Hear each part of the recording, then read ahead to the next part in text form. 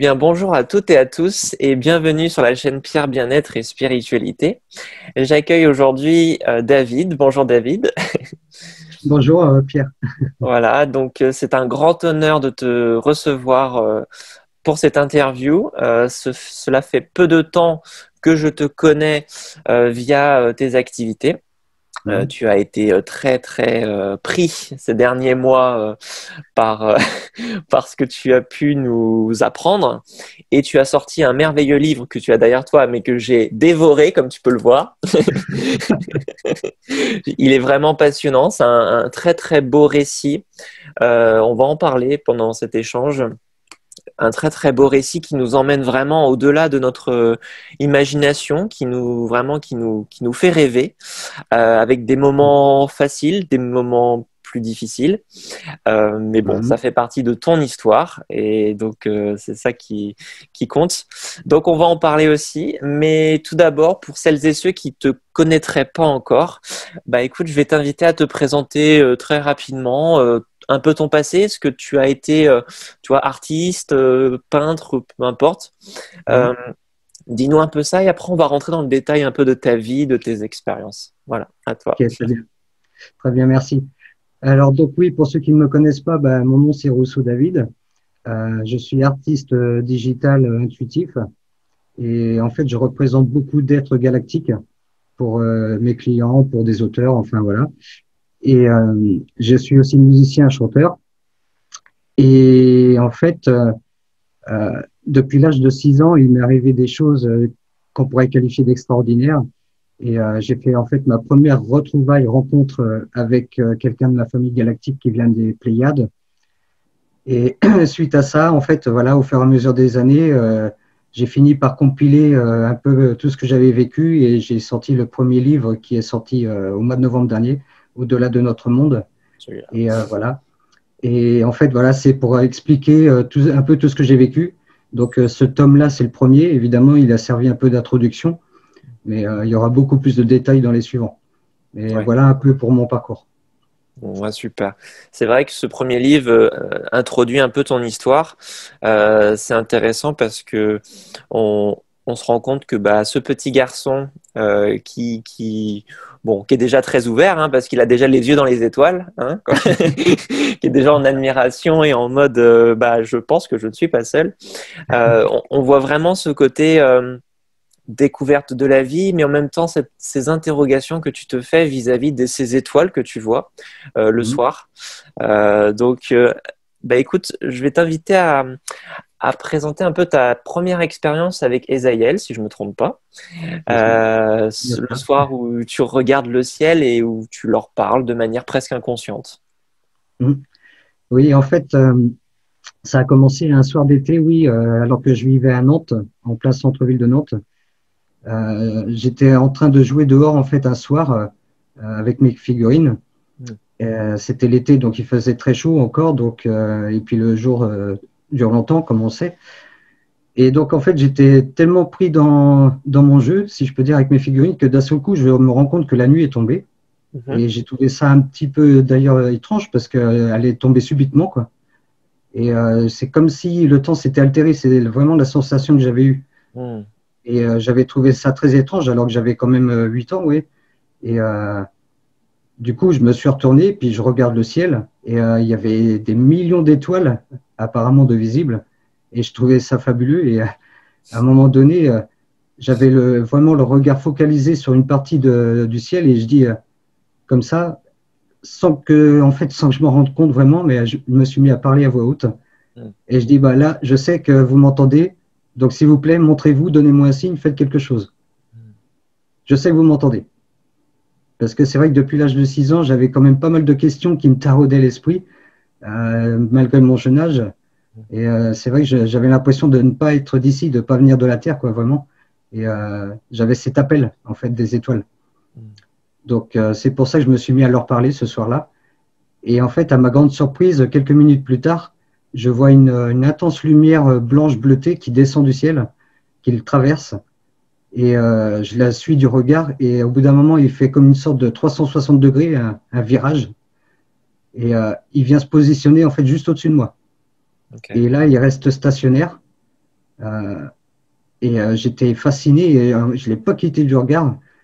Et au bout d'un moment, quand mes yeux ont fini par s'adapter un peu à la luminosité, parce que c'est vrai que c'était assez intense, mhm. j'ai fini par voir vraiment à l'intérieur une forme circulaire, à l'intérieur de cette lumière. Et donc, je continuais à le regarder. Et là, au bout de quelques secondes, en fait, il s'est envolé. Il est reparti à la, verticale en un éclair. Et euh, en moi-même, j'étais waouh, c'était grandiose quoi. J'imagine. Et euh, du coup, j'ai pris quelques minutes quand même encore, euh, vraiment avant de reprendre mes esprits, si je peux dire, et je regardais encore le ciel. Et c'est quand j'ai rebaissé la tête et le regard qu'en face de moi, j'ai eu la surprise de voir un être qui était là. Cet être-là, du coup. Hein. Oui, c'est ça. Qui est. Qui oui. Et donc, j'étais surpris et en même temps, j'étais, je, n'étais pas apeuré.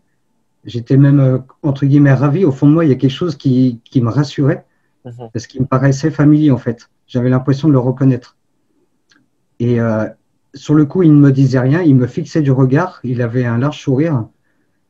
Et euh, c'est comme si un peu, comme s'il me sondait, ouais, de l'intérieur un peu, quoi. Donc, il s'est passé de longues secondes et euh, je le regardais pareil, euh, je n'en revenais pas, j'étais comme un peu tétanisé, quoi, mais euh, pour autant, je n'avais pas peur. Et à bout d'un moment, c'est là que j'ai commencé à entendre des sons, en fait, dans ma tête. Au début, je pensais que c'était dans ma tête. Et c'est lui qui me parlait. Et j'étais surpris, je voyais pas ses lèvres bouger et je lui demande mais comment ça se fait C'est bien toi qui me parles? Il me dit oui, oui, en fait, il me confirme quoi. Et c'était en fait une télépathie qui euh, de langage de cœur à cœur, en fait, voilà, de vraiment télépathique. Et euh, il finit par me dire, en fait, euh, eh ben voilà, tu vois, tu nous as demandé, tu as demandé à nous voir, je suis là. ouais, c'est vrai que c'est une sacrée rencontre, surtout pour un petit garçon comme vu que tu n'avais que 6 ans. tu, bon, de ce que tu parais, tu n'es pas effrayé parce que tu vois, euh, même, bon, un ovni encore, à cet âge-là, tu peux te dire, bon, ok, j'ai pas trop peur, mais une personne euh, visuellement euh, qui paraît humanoïde, mais qui semble quand même différente, parce qu'elle a Esaïel, alors je sais pas si c'est un homme, femme, ou c'est entre les deux. c'est plus masculin, oui masculin. On voit qu'il a la peau, tu sais, un peu bleutée, argentée. Donc, c'est déjà en dehors de l'humanité quand même. Hein. Donc, ah bah est-ce que toi, tu as ressenti une sorte de crainte en se... oh, bah, Tu as dit que tu le sentais, que c'était familier, mais tu n'as pas ressenti de peur ou quoi que ce soit? Non, ouais, c'est vrai que ça peut paraître étrange, mais à aucun moment j'ai ressenti de crainte ou de peur. Euh, euh, c'est en même temps comme si, euh, dès, qu'il a, dès que j'ai senti sa présence et dès que je l'ai vu, en fait, c'est comme si, quelque part, il me réconfortait. Quoi. D'accord. Parce que je n'ai senti aucune gêne, aucune peur, ouais, rien de négatif. Quoi. Ouais. Peut-être euh, l'inconscience de l'âge fait aussi que tu n'avais pas encore tous ces préjugés ou ces pensées sur les extraterrestres comme étant des êtres peut-être négatifs, etc., comme on peut voir dans les films aujourd'hui. Donc, euh, c'est vrai que tu n'avais pas encore tout ce bagage intellectuel, euh, mental. Et... c'est vrai, que c'est important, ouais, parce que à cet âge-là, on n'a encore pas tous les filtres qui nous imprègnent, ouais. ouais. La société et puis tout ça, l'éducation, aux croyances. Hmm. On reste pleinement ouvert à cet âge-là, ouais. C'est ça. Et il t'apparaissait vraiment très physique. Enfin, euh, il était physiquement bien là ou il était un peu dans une sorte de nuage, un halo euh, qui pourrait l'entourer? Non, il était bien là physiquement, oui. D'accord. Et il est reparti comment, du coup? Alors en fait, après, bah, il, s'est passé quand même quelques minutes. Il a, il a continué à échanger avec moi. D'accord. Euh, et toujours par télépathie. Et en fait, il, non seulement il me parlait, mais il m'envoyait aussi des sons, par moments des images. Et euh, ça, me parlait vraiment au fond de moi, ça me faisait vibrer. quoi.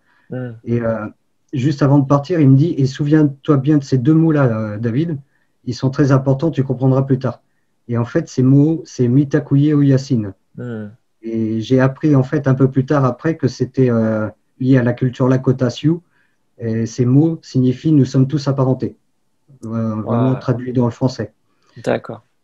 Et euh, après, c'est vrai que j'ai compris, euh, j'ai rassemblé les pièces du puzzle dans le sens où, bah, comme j'ai des origines aussi amérindiennes, euh, voilà, en fait, hmm. c'est pour ça qu'il m'a dit souviens-toi bien de ces mots-là. Parce qu'il y a un lien, évidemment, avec pas mal de choses. Ouais, et c'est vrai que les cultures euh, anciennes, hein, que ce soit amérindiens, mais euh, les Mayas, etc., ils, étaient tous connectés au ciel. On le voit hein, dans l'architecture de leurs monuments, dans leur façon de penser. Euh, je sais qu'aux États-Unis, les différentes tribus amérindiennes sont toujours en relation avec le ciel. Hein, donc ils disent qu'ils viennent de là-haut. Hein. oui, bien sûr. donc c'est vrai que c'est très très étrange. Et donc, est-ce que pour toi, Esaïel, bien entendu, il vient d'une autre civilisation euh, tu aurais appartenu à cette civilisation, euh, mais il est pour toi comme un frère, comme un père, comme un ami? Euh, bah, En fait, oui, il est, il est vraiment un frère dans tous les sens du terme parce que après, je me suis rappelé justement suite à ces contacts bah, que je venais du même monde que lui, qui se trouve dans les Pléiades. Mmh. Et en fait, on a été frères de sang, si je peux dire. Et maintenant, il est plus mon frère, on va dire, spirituel, mais. Comme un guide. Voilà, un peu comme un guide, ouais. D'accord. Et c'est vraiment lui qui te chapote en fait de ta presque de ta naissance, enfin ou de ton arrivée sur Terre jusqu'à euh, ton départ euh, dans, dans l'avenir. C'est lui qui va te, te suivre. Alors bien sûr, tu as peut-être d'autres guides spirituels qui sont présents avec toi, hein, mais niveau euh, espace, ça serait lui exact, enfin qui serait présent à tes côtés en tout cas. Et... Bah, disons, oui, effectivement, il a une place très importante dans le sens où bah, c'est lui qui qui est venu la toute première fois quand justement quand je lui ai demandé de venir. Mmh. Euh, il a rétabli en fait ce contact, oui, euh, cette reliance. Et euh, après, c'est vrai qu'il va rester un guide très important dans ma vie. Il l'est toujours actuellement, mais évidemment, en fait, c'était comme une sorte de préparation pour que je me, en fait, pour que je me rapproche après d'autres êtres qui sont issus de ma famille. Mmh. C'est ça. Et est-ce que tu sais, alors ça c'est une question euh, qui fait pas trop partie de ton histoire euh, quand tu avais 6 ans, mais est-ce que tu sais maintenant, euh, dans ton entourage familial, est-ce qu'il y a des personnes qui ont déjà vécu eux aussi sur d'autres systèmes ou c'est que des personnes qui ont vécu que des existences terrestres? Non, effectivement, c'est une bonne question. Il y en a beaucoup qui sont issus de différents mondes en fait. D'accord. Ouais. Ok, non, ça c'est toujours intéressant de d'analyser le fait que bah, est-ce que pour toi, tu vois, euh, un être euh, qui vient d'ailleurs dans une famille terrestre, est-ce qu'il y en a d'autres autour de toi qui font partie aussi du même système ou pas? Ça c'est une question qui est, intéressante en tout cas. Mm. Mm. Alors du coup, ah pardon. Oui, euh, oui, du même système, en fait, oui, il y a déjà ma compagne, en fait. Ah bah ça, c'est déjà important. c'est important.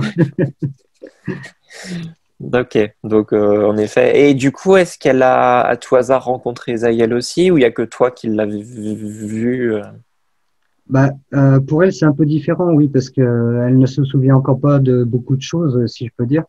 Donc, elle le voit plus dans, des, dans les rêves, si on peut dire. Ok, ouais. Mm. Bah, c'est souvent la nuit qu'il se passe des choses, et ça, on va le voir. Hein. Euh, du coup, après tes six ans, alors j'imagine que bah, tu as grandi en tant qu'adolescent. Alors à l'école, au collège, il y a un épisode dedans qui est très passionnant. Euh, mm. Est-ce que tu peux nous en dire plus? Au collège ou au lycée, je sais plus, mais euh, au lycée, oui. Au lycée. Donc dans une cour d'école, c'est ça? Oui, c'est ça. en fait, oui, j'ai fait quatre ans dans un lycée technique et j'ai fait la connaissance après de plusieurs personnes d'ailleurs qui allaient devenir mes meilleurs amis, mais euh, notamment par rapport à Fab, parce que l'histoire euh, que j'ai que j'explique euh, s'est déroulée avec lui. Mais en fait, oui, il y a eu un après-midi, on était tous dehors pendant la récré, si on peut dire, hein, mhm. pendant la pause. Et j'étais en train de discuter, moi, avec mon pote Fab, quasiment dans le fond de la cour, assis sur une murette. Et c'est vrai qu'au milieu de la cour, il y a des immenses arbres, des chênes et des sapins, et on voit pas en fait ce qu'il y a derrière, quoi. Mhm. Et au bout d'un moment, Fabien me dit bah, Attends, qu'est-ce qui se passe? On n'entendait plus personne parler. Et en fait, on s'est rendu compte que tout le monde s'attroupait vers le vers l'entrée du lycée, ouais, en bas de la cour. Tout le monde courait et on n'entendait quasiment plus personne parler. Quoi. Ah, je dis à Fab Je dis Voilà, il faut y aller, il y a un truc qui se passe là, c'est bizarre. Et euh, on voyait pas, du coup, avec les arbres qui étaient très grands, et, ils masquaient beaucoup de choses, donc on voyait pas ce qu'il y avait derrière. Donc on décide de y aller en courant aussi. Et là, en fait, c'est comme je dis dans le livre, boum, euh, tellement été surpris en fait de le voir là. Il y avait un être qui flottait dans le ciel à peu de distance de nous, en plus au-dessus de nous. Et euh, il flottait sans émettre un son. Euh, c'était vraiment très étrange sur le coup. Et il se déplaçait vraiment lentement. Il se tournait vraiment lentement. C'est c'est un peu comme s'il était mis au ralenti. Ouais. Et il n'y avait pas un bruit dans la cour. Tout le monde le regardait, mais ébahi, stupéfait, quoi. C'est vrai que bah, l'illustration que tu en as faite, euh, euh, on voit pas de visage déjà. Mm. Euh, on voit un être euh, argenté aussi, qui, qui, qui, a l'air humanoïde en tout cas. Donc maintenant, après, je sais pas si tu as eu plus de détails. mais du coup, tu as senti qu'il était venu pour quelque chose. Oui, c'est ça, ouais. Et euh, oui, en fait, oui, il est bien humanoïde. Hein. Il portait une sorte de combinaison euh, qui lui collait à la peau, en fait, de couleur mhm. argentée. Et euh, il avait une sorte de casque, oui, qui recouvrait son visage. Mais on arrivait à percevoir un petit peu quand même à travers la, vitre, si je peux dire, oui. Il avait vraiment la taille d'un crâne un peu plus importante que la nôtre, si je peux dire. D'accord. On, pouvait le deviner, on pouvait le voir. Et en fait, je le, je le regardais, pareil, je ne l'ai pas quitté du regard. Et en fait, il se tournait, il tournait sur lui-même par moments, mais très lentement. Et euh, il regardait un peu tout le monde, en fait, dans la cour. Et au bout d'un moment, bah, il se tourne, il se tourne, il se tourne, et il arrive face à moi. Oh là là et, là, euh, ouais, il y a eu comme une sorte de flash lumineux. Et, et j'ai reçu des énergies, euh, je l'ai vraiment euh, ressenti et perçu comme ça. Hein. C'est comme s'il m'envoyait des rayons d'énergie. Et, et dans, ma, dans mon regard, je percevais des sortes de codes de lumière. Mais sur le coup, je ne comprenais pas ce que c'était. Hmm. Mais ça profusait, quoi, ça y allait vraiment. Hein. Et euh, ça s'est arrêté après euh, subitement, au bout de quelques secondes. Et là, il s'est retourné, l'être en question, et il est reparti, tout doucement, toujours en flottant. Et là, justement, après tout ce qu'il y avait dans la cour, euh, il n'y avait toujours pas un mot de dit en plus. Euh, il se rendait tous compte bah, qu'il avait aucun engin attaché dans le dos qui lui permettait de voler, enfin voilà. Mhm. Et il était vraiment à nu, si je peux dire, entre guillemets. Et c'est qu'au bout d'un moment qu'il vraiment il commençait à s'éloigner, qu'il y a un gars dans la, dans la cour qui a commencé à dire Mais c'est quoi Il est quoi Il est qui? Et euh, là, j'ai pas pu m'empêcher de le dire. Je dis bah, Il serait pas d'origine extraterrestre oh, bah Là, je me souviendrai toujours de ce moment. Tout le monde s'est retourné vers moi. Oh, un peu choqué. J'imagine. Et c'est vrai qu'un être qui flotte dans les airs, euh, c'est pas courant. Peut-être encore un peu aujourd'hui avec les systèmes qu'on a, mais à l'époque euh, du lycée, je pense pas que euh, il y ait des êtres ou alors une technologie avancée, mais de manière fulgurante. Mm. C'est très très étrange. Et tu sais de quelle civilisation il vient ou pas? Oui, bah, il venait en fait lui aussi des Pléiades, mais d'une autre étoile peut-être? Oui, et en plus, il est rattaché à ce qu'on appelle l'Ashtar Commande. On va en parler tout à l'heure. Alors, je m'en souviens plus de tout ce que ça veut dire, mais. Euh... bah, L'Ashtar Commande, pour résumer, c'est en fait c'est une importante flotte de vaisseaux euh, d'êtres bienveillants, en fait, qui sont là euh, autour de, la planète et qui veillent sur, sur, sur certaines choses. Pardon. Ouais. Et j'ai plusieurs amis euh, qui ont des capacités enfin, extrasensorielles qui m'ont plusieurs fois révélé, euh, bon, qui ont eu eux aussi des visites euh, la nuit et qui m'ont dit qu'ils ont eu des messages comme quoi il y avait un peu, un peu comme dans Star Wars, il y avait une sorte de guerre galactique avec des, des forces du, du, bien entre guillemets, des forces un peu involutives qui s'affrontaient, mais que la Terre était un peu protégée. Euh, par rapport à tout ça, heureusement, du coup. mais euh, c'est vrai que l'histoire de l'ufologie commence déjà à l'Antiquité, mais même bien avant. Hein. on a des traces dans toute l'histoire de l'humanité, on ne peut pas les nier. C'est factuel. Et même euh, pendant la guerre froide, hein, même les armées des États-Unis, mais pas que, ont vécu des, des, des, choses assez incroyables, hein, comme des silos de missiles nucléaires qui se sont désactivés. Ça, c'est factuel aussi, hein, parce que ça a fait le tour du monde. Euh, il y a eu des chaînes de télévision qui ont interviewé ces, des sénateurs, qui ont interviewé des généraux, des, des, gens qui ont vécu. Donc, il se passe vraiment des choses sur Terre. Ça, faut le dire. Et il y a un truc très intéressant par rapport au lycée, c'est que cet être a disparu, mais qu'après, il y a eu une odeur aussi qui est arrivée. Ah oui effectivement, oui. Euh, euh, le lendemain, en fait, dès le lendemain, euh, je suis arrivé un peu plus tôt d'ailleurs au lycée parce que je voulais absolument revoir mon pote Fab et lui dire certaines choses. Hmm. Et du coup, je lui dis, bah, on va aller au tabac du coin, on va aller voir dans les journaux déjà si, pour voir s'ils en parlent, si quelqu'un en parle. Et en fait, on a été surpris de voir qu'il n'y avait aucun article, rien là-dessus. Et mon pote Fab, il s'interrogeait d'ailleurs, il me dit mais comment ça se fait? Ils arrivent à cacher ce genre de choses quoi Il y a eu pourtant des témoins et je suis sûr qu'il y en a eu en plus en dehors de notre lycée quoi. Hmm. Je dis ben oui oui mais bon euh, le blackout c'est ça, je t'expliquerai plus tard. et donc euh, en fait oui après un peu plus tard dans la journée, euh, on sort pareil pour la pause et là tout le monde sent comme une odeur bizarre ouais effectivement dans l'air. Et sur le coup je n'arrivais pas à déterminer ce que c'était et c'est un peu plus tard que Isaïel me dit mais en fait, euh, c'est une sorte de gaz euh, qui a été répandu sur toute la ville. Je fais quoi? Il me dit oui, oui, c'est un gaz qui a été répandu sur toute la ville par un avion, enfin plus, par plusieurs avions même. Mhm. Et euh, il me dit tout ça, c'est pour, pour vous faire oublier en fait ce qui s'est passé la veille. Ah, je fais ah ouais, d'accord, ils en sont là. Ouais. ça montre euh, à quel point ça peut aller loin. Mais tu n'es pas le seul à, avoir fait mention d'une sorte de gaz un peu étrange. Il y a plusieurs euh, témoignages dans l'histoire euh, récente de personnes qui ont vu des choses, qui ont témoigné, mais surtout après par hypnose régressive, qui a eu comme des sortes d'odeurs un peu particulières. J'ai plus les noms dessus, mais des odeurs un peu bizarres dans l'air Mm. mais que dans un espace euh, restreint, sans qu'il y ait d'usine, sans qu'il y ait de quoi que ce soit à côté.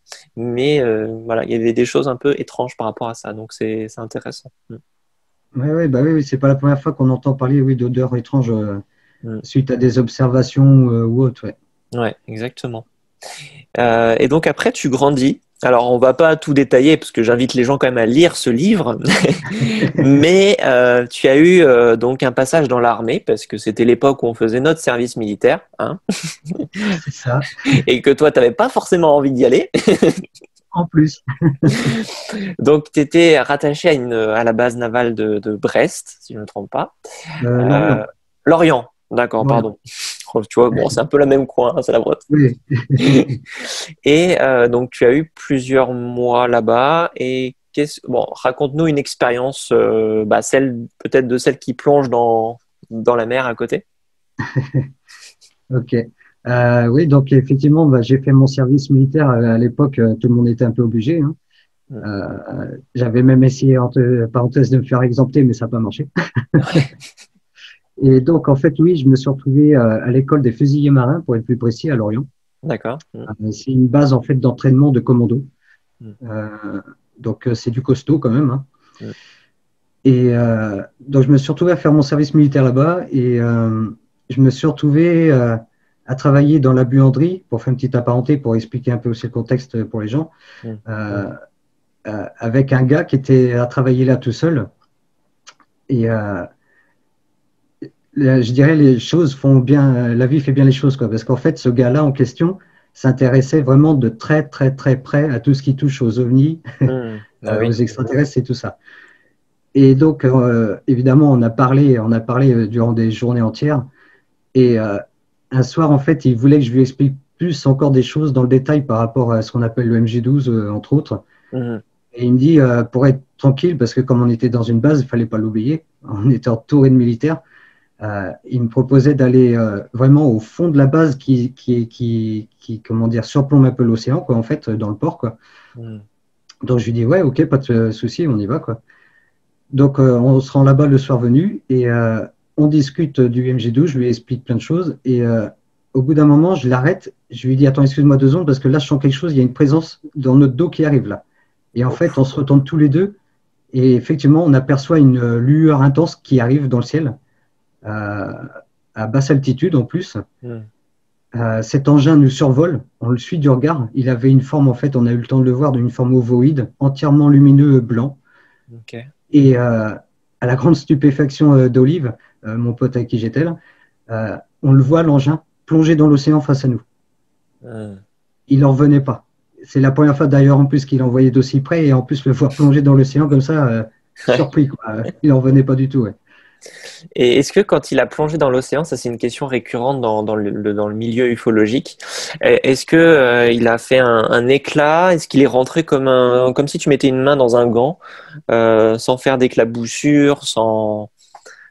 Ouais, bah, c'est une bonne question. Oui, effectivement, il n'y a, a, eu aucun éclat. Ouais. C'est comme s'il rentrait, euh, je ne sais, pas comment je pourrais dire ça, comme s'ils avaient, ils avaient un peu altéré peut-être l'effet de l'eau ouais, par rapport au champ, la pénétration. Ouais, euh, et, bah, Ouais. Alors la question qu'on peut se poser, hein, mais qui est totalement naturelle, c'est pourquoi ils apparaissent par là? On se dit, bah il y a une base, donc euh, c'est pas anodin. c'est ça. Donc euh, ouais, c'est une sacrée expérience et j'invite les lecteurs, enfin euh, les auditeurs, pardon, à lire ce livre pour découvrir la suite parce que elle est passionnante dans la, base militaire. C'est très, euh, moi je, quand je le lisais, j'étais en mode oh mon dieu, c'est vraiment passionnant cette aventure en terrain un peu hostile parce que on va dire que les, militaires sont un peu aux aguets quand même. Hein.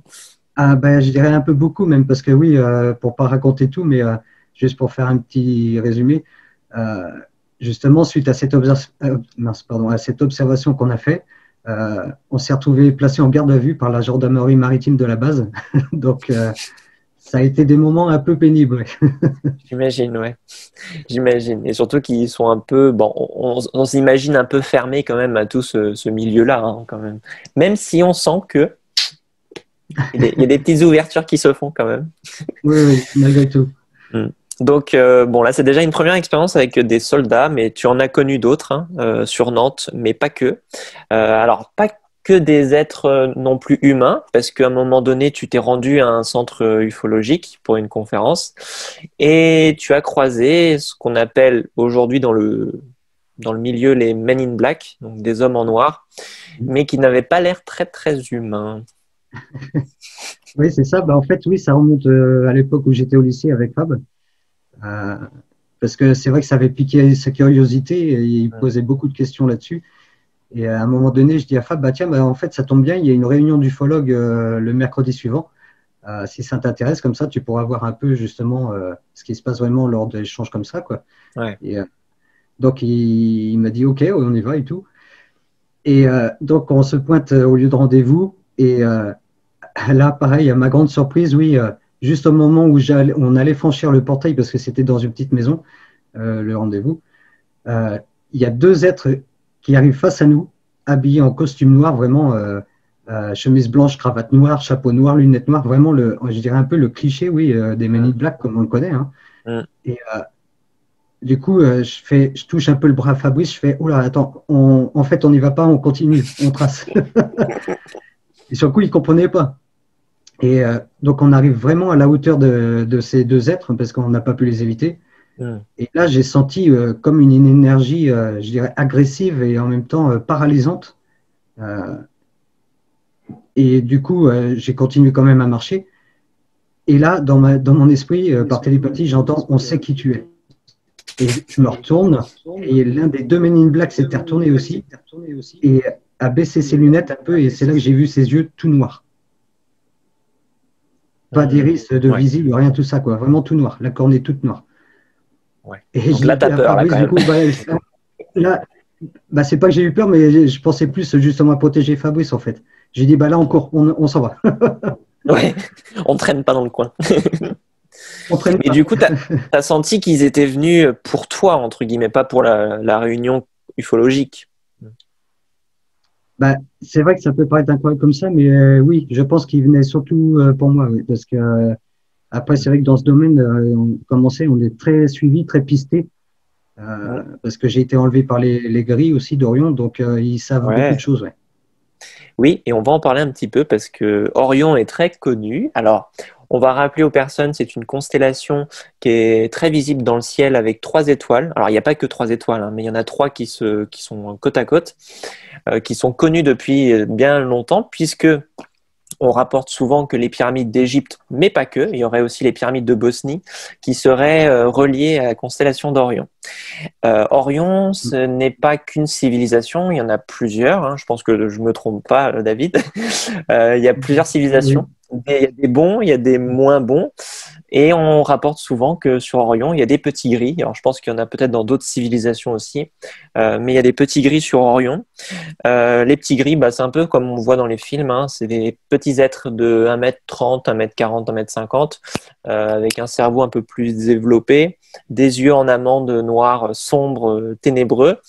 Euh, et mhm. surtout, on a tendance à les comparer à une sorte de pas des robots, mais comme des hybrides, des, des êtres qu'on où on leur donne des ordres, un peu comme des, euh, bah, c'est un peu des, des, sujets, quoi, des esclaves, entre guillemets, euh, par rapport à peut-être d'autres êtres. Mmh. Alors raconte-nous peut-être un peu ton expérience euh, avec les grilles d'Orion, à quel moment ça a eu lieu et comment cela s'est passé? Alors oui, bah, en fait, euh, les enlèvements par les grilles d'Orion, je me suis rendu compte en fait un petit peu après, quand Esaïel m'a raconté, en fait, expliqué surtout des choses, parce que euh, suite à ma première rencontre avec Esaïel, euh, j'ai été enlevé euh, quasiment aussitôt après, si je peux dire, oui, par des grilles. Mais sauf que je ne le savais pas à ce moment-là, parce que j'avais la mémoire un peu paralysée, si je peux dire, un peu étouffée. Mais voilà, oui, en fait, ils ont commencé à m'enlever quasiment aussitôt après ma rencontre avec Esaïel. Et c'est quand, en fait, un ou deux ans plus tard, j'ai fait la rencontre d'un autre gris, mais lui qui venait de Zeta Reticuli. Euh, et c'est là que j'ai en fait que j'ai vraiment tout compris parce qu'il m'a expliqué il vraiment dans, dans, le fond et dans les détails euh, ce qui s'était passé en fait depuis l'âge de 8 ans euh, jusqu'à après quasiment 18-20 ans. les grilles d'Orion m'avaient enlevé pour faire toutes sortes de manipulations génétiques, hein, comme beaucoup le savent hein, dans ce domaine.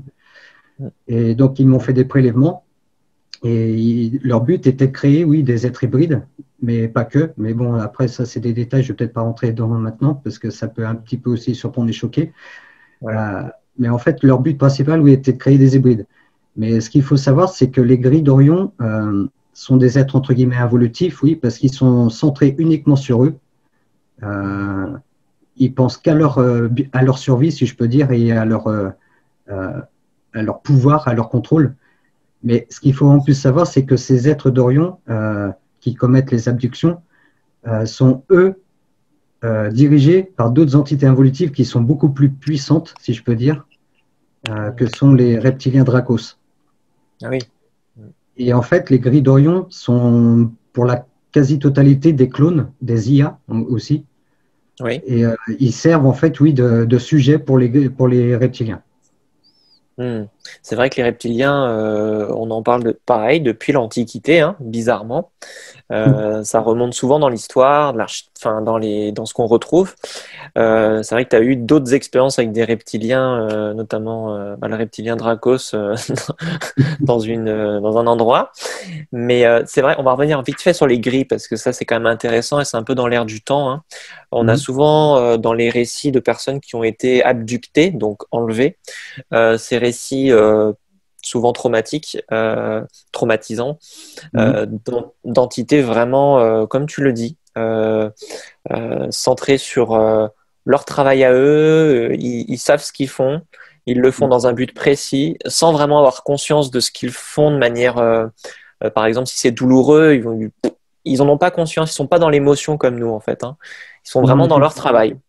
Oui, effectivement, oui, c'est un peu bah, justement des robots, hein, c'est le cas de le dire, hein, parce que euh, comme je peux constater moi-même, euh, de tous ceux que j'ai vus, quasiment, c'était des IA, des, des intelligences artificielles. Ouais. Et euh, et il y en a eu un, par contre, avec qui j'ai réussi à communiquer. Lui, c'était un ah clone.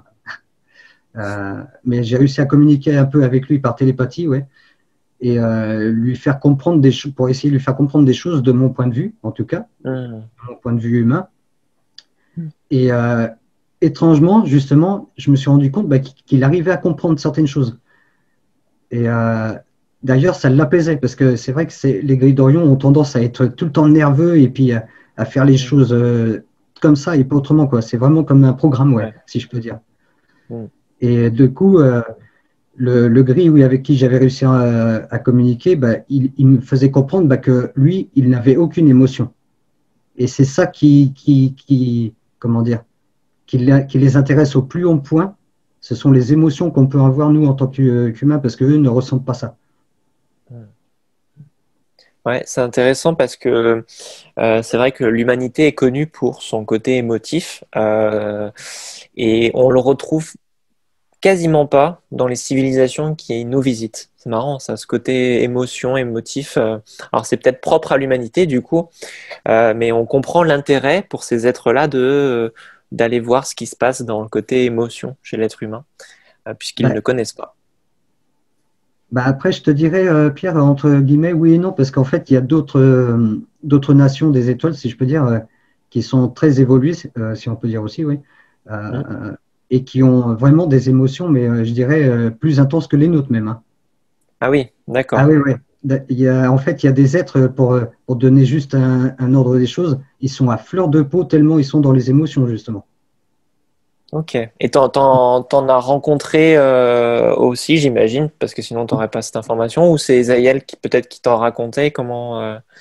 Oui, bah, en fait, oui, je les ai vus. Euh, m'avait parlé de certaines choses, mais après, j'ai vu des êtres, effectivement, euh, bah, qui ressentent les choses beaucoup plus intensément que nous. D'accord. Ouais, donc ça, c'est intéressant de, de voir finalement qu'on ne serait pas les seuls euh, être dans le côté émotif.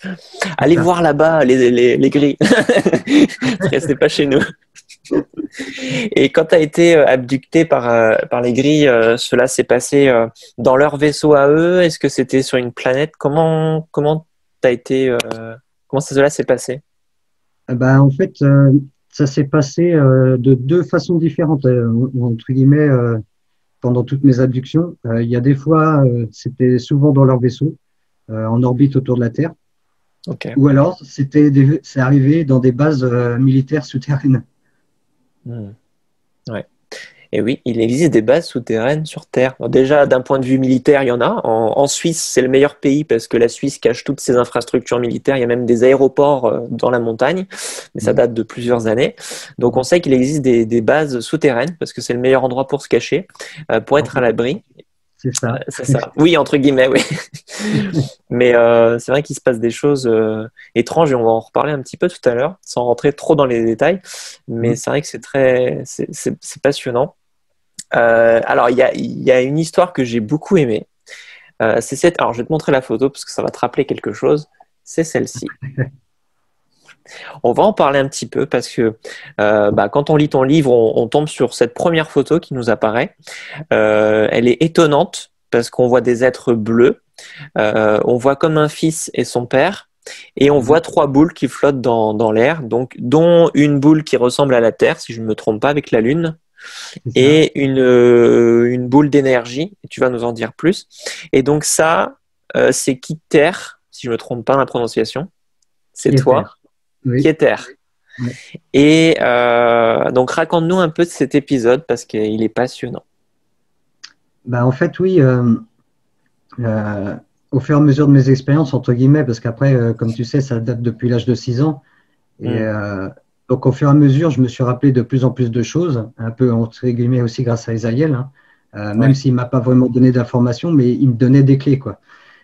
Et donc oui, euh, au fur et à mesure des expériences et des années, bah, je me suis rappelé de plus en plus qui j'étais, si je peux dire vraiment. Et euh, parce que déjà au fond de moi, depuis l'âge de 6 ans, je savais que je venais pas de la Terre. Ça, c'était euh, quelque chose vraiment qui était ancré en moi, quoi. Et euh, en fait, après, j'ai découvert aussi un autre aspect, c'est que euh, c'est vrai que j'avais aucun souvenir de mon enfance de 0 à 6 ans, si je peux dire. Et tout ça pour la bonne raison, c'est que je suis un, ce qu'on appelle un walk-in, une âme stellaire en fait qui est entrée euh, dans l'avatar, dans le corps, après la naissance. Donc on appelle ça un walk-in. Et en fait, c'est pour ça que j'avais des mémoires, on va dire, vraiment encore là, parce que le voile de l'oubli n'a pas pu avoir son effet sur moi. Et euh, donc voilà, au fur et à mesure, je me suis rappelé de plus en plus de choses, et euh, notamment bah, que je m'appelais Kieter. ça d'ailleurs, c'est un nom qui a toujours vibré en moi, mais sauf qu'avant, je n'arrivais pas à le sortir parce que c'était là, mais je ne savais pas l'expliquer, je ne savais pas l'exprimer. quoi. Mais euh, mon nom, voilà, c'est Kieter. Je suis en fait une âme stellaire qui vient du grand soleil central. Et euh, le dessin que j'ai fait, qu'on voit dans le livre, justement, je suis face à mon père. Et c'était à ce moment-là où j'avais fait ce choix de descendre sur Terre euh, à travers l'incarnation physique. Parce que même si le, le, dessin représente des corps physiques, en fait, ils ne sont pas vraiment physiques, c'est pas dense. C'est vraiment un peu éthéré, quoi. C'est d'énergie. Hein. Hmm. Et donc, en fait, c'est à ce moment-là que j'avais fait vraiment mon choix, par amour, en fait, euh, entre guillemets, euh, pour la Terre et l'humanité, euh, de descendre sur Terre pour éveiller un peu les consciences, si on peut dire. Bah, tu réussis pour l'instant. Merci. Donc tu, dis que tu viens du grand soleil central. Euh, en fait, ça vient de quel endroit? Enfin, si tu connais hein, la constellation ou l'endroit où d'où cette civilisation pourrait venir? Bah, En fait, le grand soleil central, c'est vrai que c'est pas évident pour bien faire comprendre ça aux gens, mais euh, c'est pas un soleil au, au sens, nous, où on le perçoit, où on le voit vraiment, je veux dire physiquement hein, et atomiquement et tout ça. Euh, en fait, c'est un, comment je pourrais dire, une sorte de système ouais, où c'est des sphères de vie euh, qui vibrent très haut. En fait, ils sont dans des dimensions très très élevées. Donc, euh, c'est pour ça qu'on appelle ça le grand soleil central, parce que évidemment, ça, ça rayonne comme un soleil. Hmm. Et en fait, à l'intérieur de ce grand soleil central, voilà, il y a des sphères de vie. Et euh, c'est ce que, en fait, les, les, êtres qui vivent là, on les appelle les anciens. Hmm. D'accord. Et du coup, à ce moment-là où il y a cette séparation entre toi et, ton père, euh, tu vis ça comme un... Alors, premièrement, est-ce que tu le vis comme un déchirement? Est-ce que tu le vis comme, comme tu me le dis, euh, bah, c'est ma mission, j'y vais, j'y fonce? Ou troisièmement, tu dis, euh, oh mon Dieu, mais qu'est-ce qui va m'arriver sur cette terre? Ou tu le voyais aussi, peut-être, déjà ton avenir? Bah, en fait, oui, entre guillemets, j'étais vraiment enthousiaste parce que j'ai fait ce choix par moi-même, hein, donc par amour, comme je disais, pour la Terre. Donc hmm. j'étais heureux d'y aller. Quoi. Euh, mon père, lui, il tâchait entre guillemets de me prévenir, mais tu es la troisième densité, tout ça, t'as jamais connu, tu verras, ça va être, ça va être entre guillemets catastrophique, quoi. Ouais. Et, euh, et, moi, je disais non, non, confiant, j'y vais, j'y vais. Et euh, c'est vrai que ça n'a pas été évident, hein, et, euh, parce qu'en fait, il, il, a fallu plusieurs étapes euh, aussi pour pouvoir descendre sur Terre. c'est vrai qu'un corps lumineux, quand il vibre très haut, faut faire baisser ses fréquences et ses vibrations pour descendre dans la troisième dimension. C'est vrai qu'en fait, j'ai passé, je suis passé par les Pléiades avant pour m'acclimater, entre guillemets, si je peux dire. D'accord, ok. Ouais, c'est intéressant parce que ce chemin en fait de, de conception, de descente, euh, bah c'est pas comme ça. c'est pas en un claquement de doigts. Il y a tout un cheminement qui se fait. Euh, et au niveau vibratoire, on le sait, hein, pour être euh, en contact avec des d'autres civilisations ou pour euh, même les personnes décédées, bah plus on a un niveau d'énergie qui monte et plus on est capable de les voir. Et eux, ils sont obligés de descendre leur vibration pour qu'on puisse avoir un point d'achoppement et, et, se croiser en fait. Hein. Donc euh, donc, il t'a montré un peu euh, ce qui allait t'arriver. Est-ce que tu es en, enfin, est-ce que tu sens toujours ce contact avec lui euh, à travers le temps, ou c'est vraiment la séparation est faite vite à vie Non, non, oui, effectivement. même si c'est pas évident pour les gens de comprendre ça, mais il n'y a aucune séparation en fait. Hmm. Même si dans la 3D, on a l'impression que tout est séparé parce qu'on on toujours, on nous a toujours fait croire que tout était séparé dû à la dualité des choses d'ailleurs. Euh, mais en fait, il n'y a aucune séparation. Ça, c'est juste un voile, en fait. C'est une illusion. Sur Terre, en tout cas. Et, euh, parce qu'en fait, euh, on est tous reliés les uns aux autres, beaucoup plus qu'on pourrait le penser. Et par le langage, justement, de cœur à cœur, parce que c'est vraiment ça qui, qui, relie les êtres hein, et, et, tout ce qui est autour de nous, d'ailleurs. Et donc, en fait, quand tu es conscient de ça, euh, bah, tu perds pas le contact, oui, et tu communiques toujours, malgré les distances qu'il peut y avoir, tu communiques toujours. Eh oui, la télépathie et l'énergie d'amour, hein, comme, comme on l'a souvent répété euh, à travers les phénomènes ufologiques, c'est que bah, tout ce qui se passe sur Terre se passe aussi dans l'univers et tout est en corrélation. Et donc, euh, s'il y a des choses, euh, genre des impacts nucléaires sur Terre, bah, ça va se répercuter aussi dans l'univers. Donc, il veille sur ça aussi. C'est ça, justement, oui. c'est ce que je faisais comprendre à beaucoup de proches. il faut prendre l'univers pour juste, on va dire, schématiser faut prendre l'univers comme une immense toile d'araignée avec plein de fils qui partent dans tous les sens, justement. Et en fait, tous ces fils nous relient à tout ce qui est, à tout ce qui fait partie de ce grand tout. En fait, c'est la façon que voilà, je pourrais un peu donner pour expliquer ça, ouais, euh, pour montrer que ben, on est relié vraiment à tout, parce qu'on fait partie de ce grand tout. Ouais, c'est ça. Et, on, évidemment, euh, excuse-moi, et évidemment, oui, euh, par exemple, pour reparler des bombes nucléaires, s'il y a une explosion nucléaire sur Terre, évidemment, ça va avoir un impact euh, très loin dans l'univers aussi, parce que ça va suivre le fil qui correspond sur cette toile d'araignée, là, au niveau énergétique, vibratoire et tout. Et, et en fait, euh, les autres vont le percevoir dans l'univers. Ça va créer vraiment des distorsions, ouais. Oui, c'est pour ça que les apparitions d'OVNI sur Terre se font principalement près de centrales nucléaires, près d'endroits où il y a eu des incidents nucléaires. Et ça, c'est relaté, hein, ce sont des faits, hein, c'est pas juste des inventions. Euh, et les Américains en ont fait euh, les frais pendant la guerre froide. Hein. Ils se sont dit, oups, comment c'est possible que autant de silos nucléaires sont désactivés par un phénomène ufologique et qu'on est capable de rien faire par rapport à ça? Bon, voilà. Bon, maintenant c'est déclassifié, donc on peut savoir que ça a eu lieu, mais c'est vrai que c'est étonnant. C'est étonnant. Euh, Juste pour faire une petite parenthèse, d'ailleurs, il y a même eu des silos, euh, des missiles nucléaires qui ont été désactivés comme ça en France, aussi dans le sud de la France. Hein. Sur le plateau, le plateau de d'Albion. D'Albion, ouais. ouais. Hmm. comme quoi. Hein. c'est très très particulier. Je pense qu'ils en ont, bon, ils en ont peur, mais en même temps, je pense qu'il y a une partie euh, du, milieu militaire ou militaro-industriel dans le monde qui est au courant de ce qui se passe. Et on va relater ça un petit peu euh, par rapport à une expérience que tu as vécue. Euh, en partant sur des systèmes pas très loin finalement de notre Terre.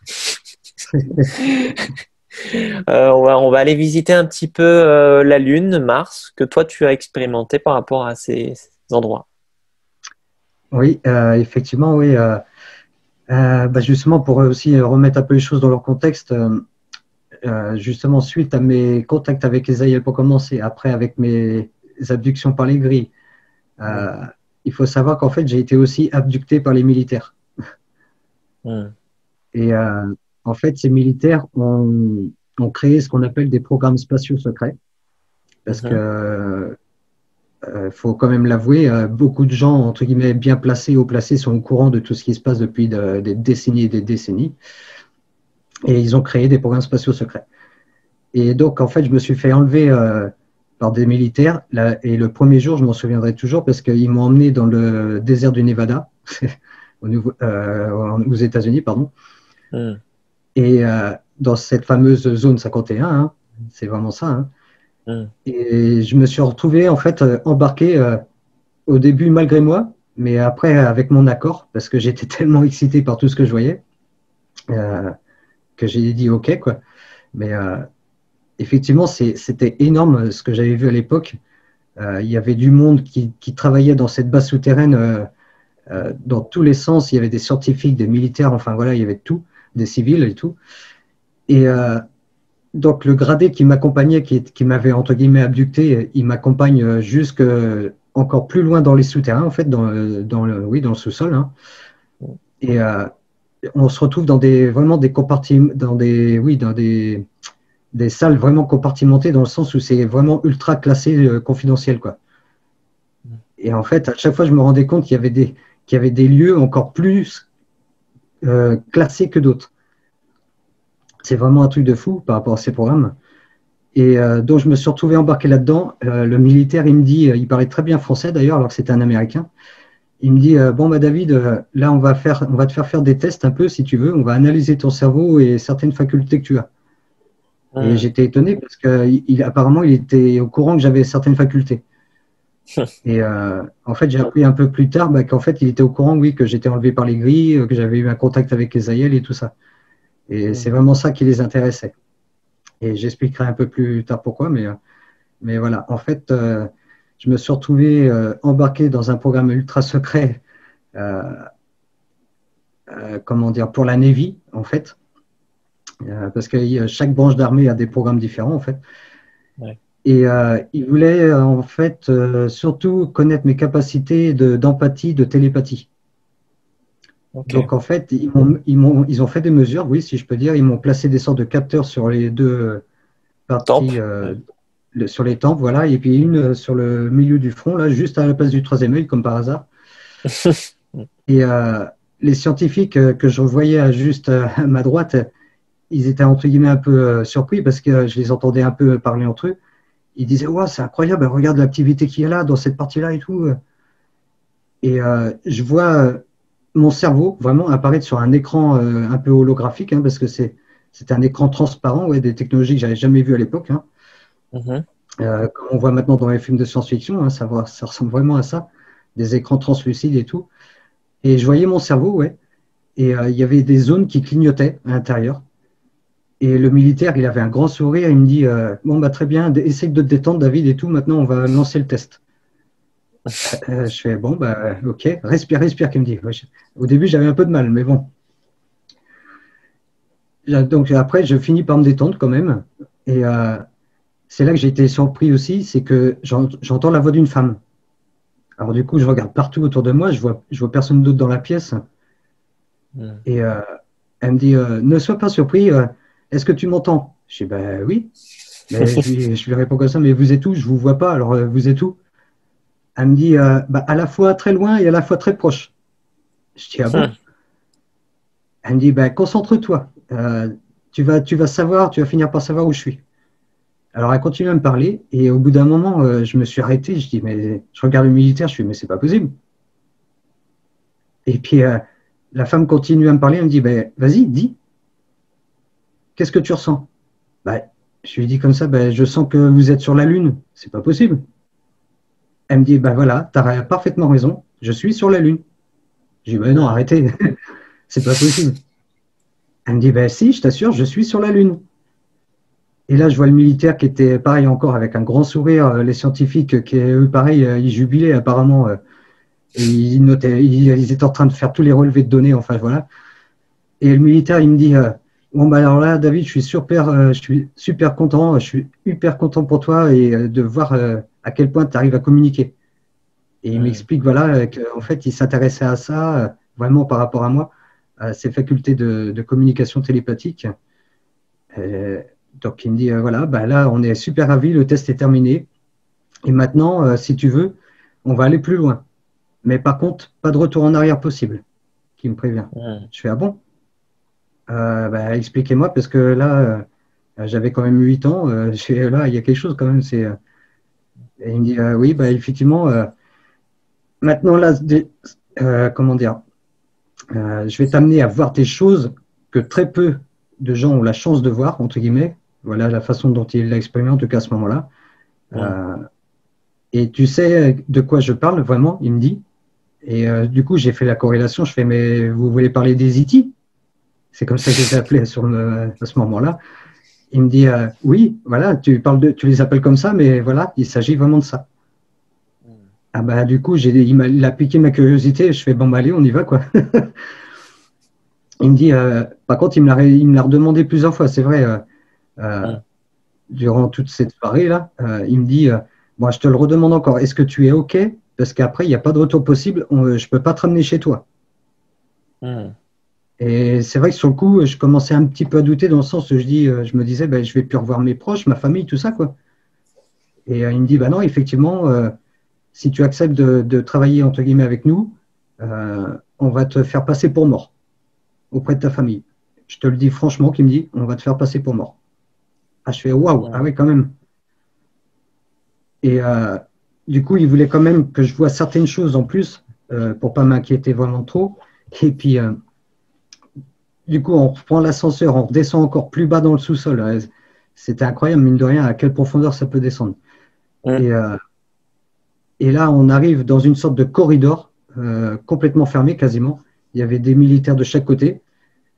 Et on arrive à face à une grosse porte métallique et là, il me dit Bon, ben là, ça y est, je te le redemande une dernière fois, David, parce que maintenant, là, il n'y aura plus de retour possible si tu franchis cette porte.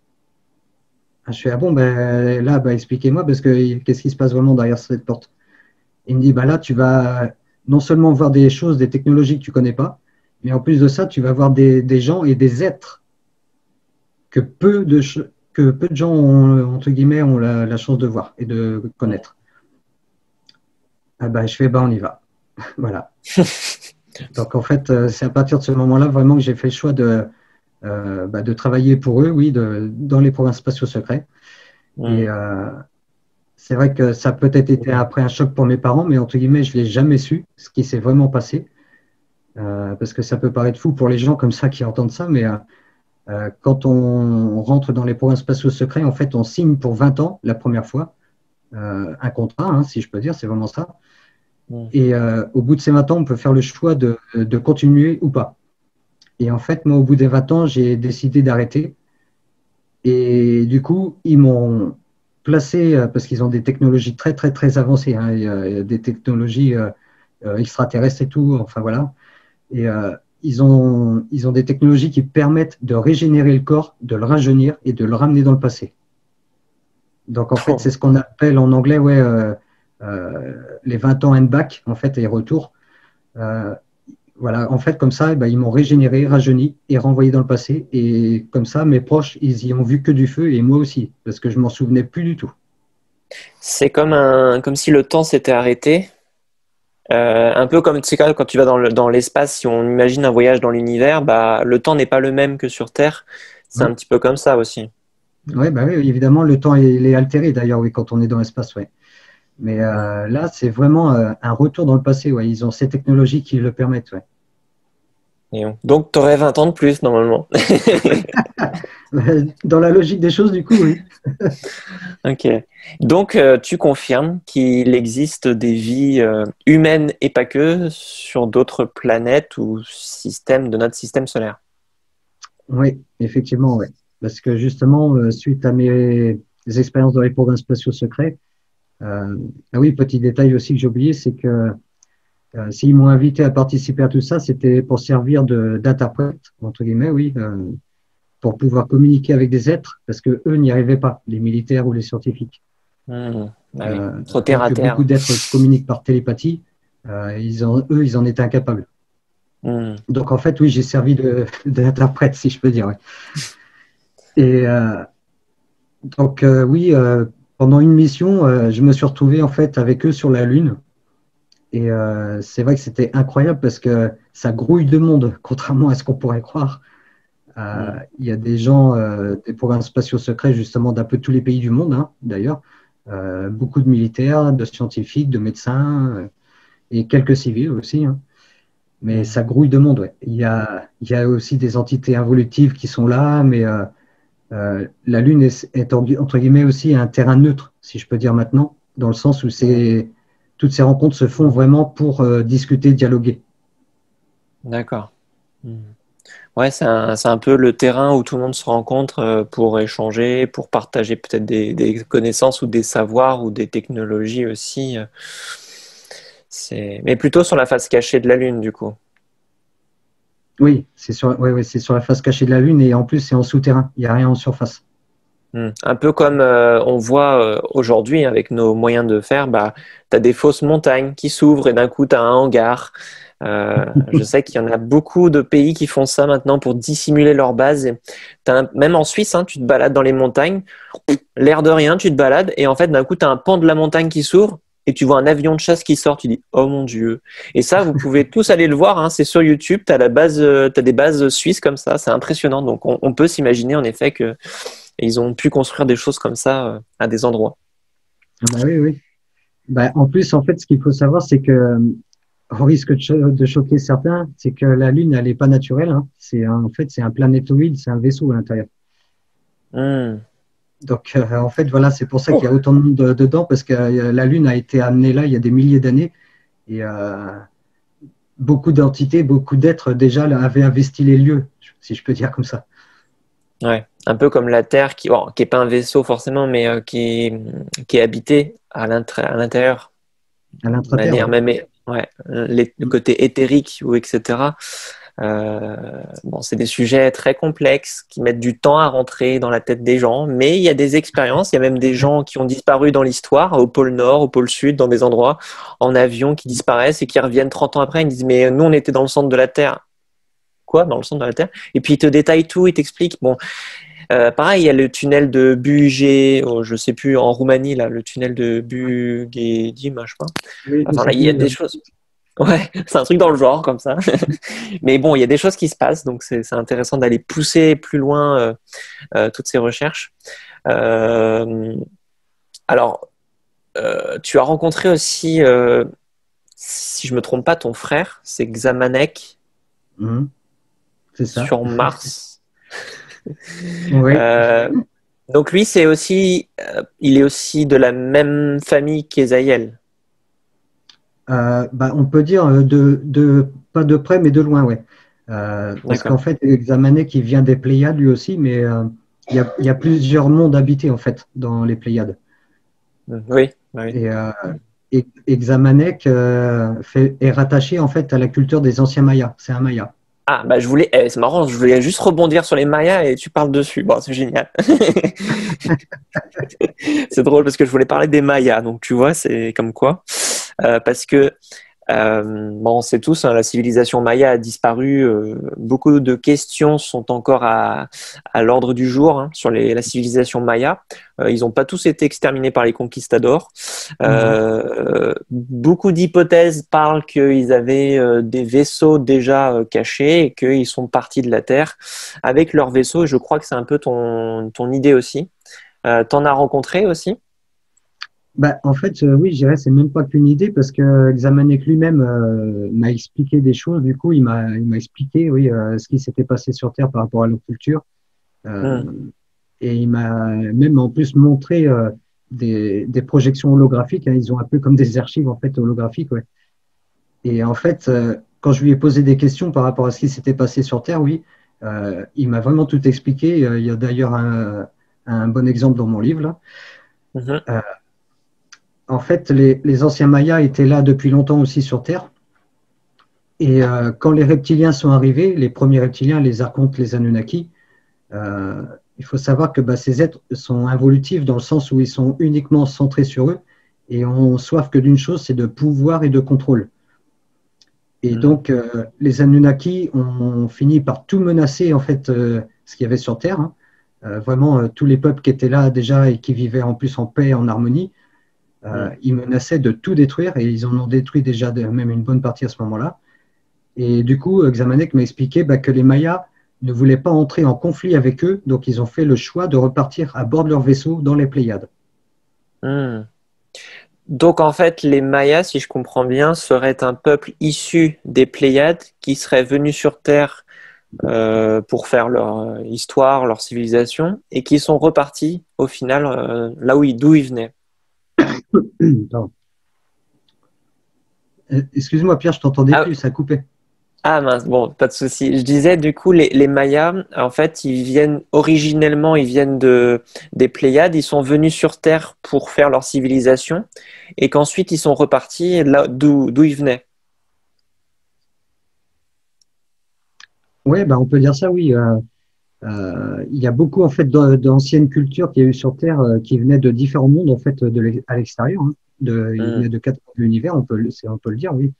Et euh, les anciens Mayas, oui, étaient là pour apporter beaucoup de choses en fait à l'homme, hein, que ce mm. soit des connaissances mathématiques, spirituelles ou autres. Hein. Mm. Et ils ont partagé beaucoup de leurs connaissances d'ailleurs. Bah oui, d'où les crânes de cristal. J'en ai quelques-uns et c'est un sujet très long, mais on, retrouve même des dessins mayas avec des têtes de, serpents, donc reptiliens. Euh, il y a même des sortes de vaisseaux euh, qui sont dessinés euh, depuis l'époque maya. Tu dis, ok, bizarre, des vaisseaux avec des étoiles à l'époque maya, c'est très bizarre. Donc comme quoi, il y a les choses qui petit à petit se regroupent.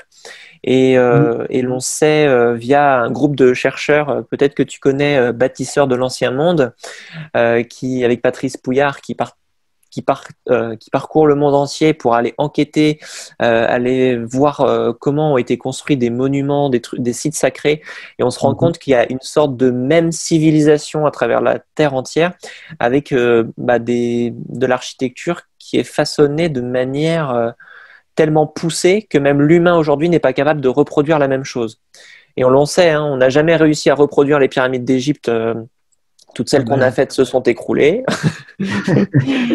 Donc, euh, en effet, il y a des technologies qui, ont dû exister, qui ont disparu euh, depuis des millénaires.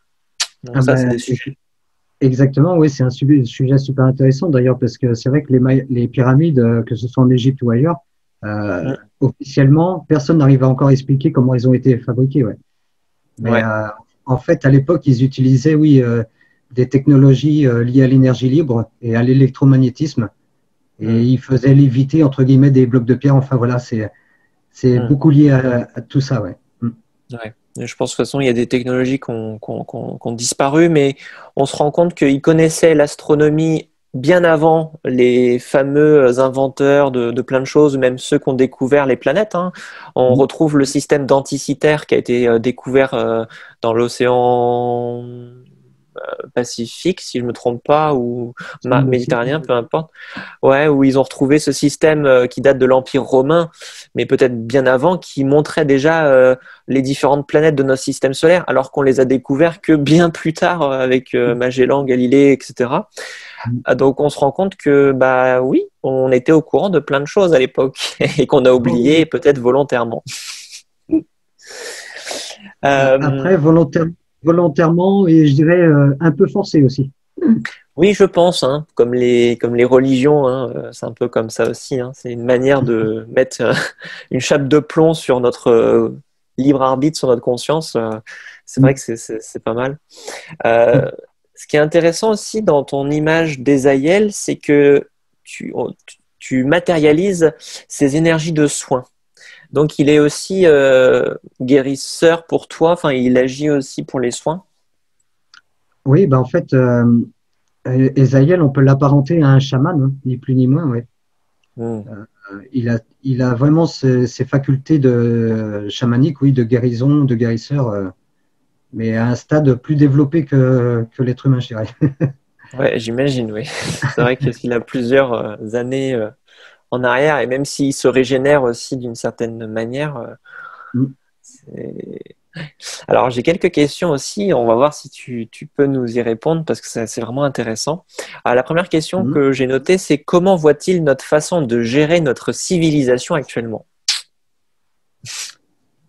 Vaste question. Vaste question. J'en suis bien conscient. Euh, bah, eux, en fait, euh, comment je pourrais dire euh, pour tous les galactiques, en tout cas, qui sont, qui sont là, qui sont bienveillants et présents depuis très très longtemps, si tu veux, eux, ils ne s'ingèrent pas. Ils ne s'ingèrent pas, que ce soit d'un point de vue, comment je pourrais dire, sociétal ou autre, psychologique, émotionnel, enfin voilà. Parce qu'en en fait, ils respectent le choix à la fois de chaque individu et le choix de chaque âme aussi, en fait, avant l'incarnation. Et après, ils respectent aussi le choix euh, du collectif humain, si on peut dire. Donc en fait, ils sont juste observateurs. Euh, ils sont observateurs. Après, c'est vrai qu'ils s'intéressent quand même à beaucoup d'aspects des choses sur notre euh, façon d'être, façon de vivre et tout. Mais jamais ils vont s'ingérer, oui, à moins que ce soit vraiment très, très, très urgent. Quoi. Oui, une guerre nucléaire, par exemple. Quoi. Voilà, entre autres. Mais est-ce que, par exemple, les Ayel, tu as, dit que tout ce qui se passait sur Terre actuellement, c'était normal, ça faisait partie de notre processus d'évolution, ou alors euh, l'humanité est vraiment en train de prendre un mauvais chemin? Euh, bah, Je dirais en fait, euh, c'est un peu de tout ça à la fois. c'est un peu normal dans le sens où, comme tu sais maintenant, et beaucoup se rendent compte qu'il y a des prises de conscience qui sont de plus en plus c'est vrai que depuis, euh, bah, depuis entre guillemets, la, la fameuse pandémie, là, euh, les gens se sont retrouvés confinés et du coup, ils se sont retrouvés avec eux-mêmes. Ils ont eu plus de temps avec eux-mêmes et du coup, ils se sont plus centrés. Oui, euh, ils ont pris conscience de choses et d'autres. donc, je dirais oui, on va vers quelque chose de vraiment beaucoup plus positif maintenant parce qu'en fait, ça fait partie du processus, effectivement. il y a bien un processus en cours hein, qui est celui de l'évolution vers la cinquième dimension. Et en fait, il est grand temps, si je peux dire comme ça, pour l'humain euh, de se détacher de tous ces anciens schémas, de toutes ces anciennes croyances et de toutes ces illusions, si je peux dire, parce que ces illusions ont été maintenues par des entités involutives. Donc en fait, il est grand temps que tout ça s'arrête, entre guillemets. Ouais. On dit souvent que depuis peu, euh, depuis quelques années, mais vraiment peu, euh, la Terre est moins sujette aux abductions des grilles, comme s'il y avait une protection qui avait été faite sur Terre. Oui, effectivement, c'est une bonne question parce que euh, de ce que j'en sais moi, en tout cas, de ce qu'ils m'ont dit, euh, les enlèvements ne, ne, se produisent plus depuis quelques années. Maintenant, je ne sais plus depuis à peu près cinq ans, je crois. Euh, après, il peut y avoir encore des, des exceptions, dans le sens où c'est si une, une, demande est faite en fait par l'inconscient ou le conscient d'une personne, hein. mais il peut y avoir encore quelques abductions, ouais. Est-ce qu'on t'a parlé euh, éventuellement, hein, c'est un sujet un peu compliqué aujourd'hui, des mutilations animales? Euh, Oui, c'est un autre sujet. Euh, de ce qu'on m'en a dit, en tout... de ce qu'on m'en a dit, en tout cas, les mutilations animales ont été faites par des, êtres humains et non pas par entre guillemets des extraterrestres comme certains l'ont prétendu. Ça a été fait par des humains qui sont en manque d'adrénochrome. D'accord, je ne connais pas du tout, mais. Ben, en fait, c'est des substances qui, qui, retirent du sang. C'est une sorte de drogue. D'accord, ok. Ça sert pour le rajeunissement, entre guillemets, et la régénération, ouais. Ok. C'est vrai que c'est un sujet compliqué et très souvent apparenté à l'ufologie, euh, mais moi personnellement, je pense aussi que ce sont des, des humains euh, qui ont une technologie avancée, euh, donc peut-être des militaires, des industriels qui ont fait ça pour une certaine raison. parce que je vois pas des êtres extraterrestres venir tuer des bêtes comme ça pour le plaisir. Ou... pas dans le genre. Peut-être les petits gris éventuellement, mais bon. Bah, euh, les, gris, ont fait ce genre de pratique, si je peux dire, oui. Euh, mais c'était pas, c'était pas pour eux en fait. C'était pour euh, pour les reptiliens entre autres, et puis pour des êtres humains aussi, hein, parce qu'il faut savoir qu'il y a des êtres humains qui sont très liés à des reptiliens. ils font partie d'ailleurs de, ce de ceux qu'on appelle de l'état profond, hein, de la cabale. Et euh, en fait, voilà, ils se servent de sang pour se, pour se régénérer et rajeunir. Hmm. Oui, et de toute façon, on va aller euh, dans, avec la science, les découvertes, on va aller progressivement vers euh, la régénération cellulaire. Donc, ça va peut-être un jour nous arriver aussi de, de se rendre compte que le sang peut-être peut nous aider, mais pas que. Donc, tu en as un, petit peu parlé tout à l'heure, mais ce lien avec les scientifiques de la Terre, avec les dirigeants de la planète, je pense pas que tous les dirigeants de la planète sont au courant, mais les principaux. Euh, comment toi, tu as vu les choses par rapport aux scientifiques? Tu, tu, te rends compte qu'il y a un partenariat qui a été signé, qui a été fait, ou c'est vraiment de la curiosité, ou on est encore en train de les étudier? Bah, En fait, euh, je dirais non, il y a effectivement comme un contrat, ouais. Euh, pour tous les scientifiques, en tout cas, qui sont au courant de tout ça et, qui travaillent dans ces domaines, oui, euh, liés à la présence extraterrestre, euh, si on peut l'appeler comme ça, oui, il y a vraiment un contrat, ouais. Hmm. Est-ce que tu sais si ça c'est une question que je me pose, mais bon, j'ai déjà ma, ma, façon de penser. Est-ce que tu sais si, par exemple, quand on regarde l'atmosphère, là, imaginons on regarde le ciel, euh, est-ce que tu sais s'il y a des vaisseaux qui sont invisibles à l'œil nu euh, et qui sont là, présents, euh, qui font un peu leur vie sur Terre, comme si on n'était pas là, mais qui sont là aussi pour veiller? Est-ce que toi, tu, tu sais ça? Oui, effectivement.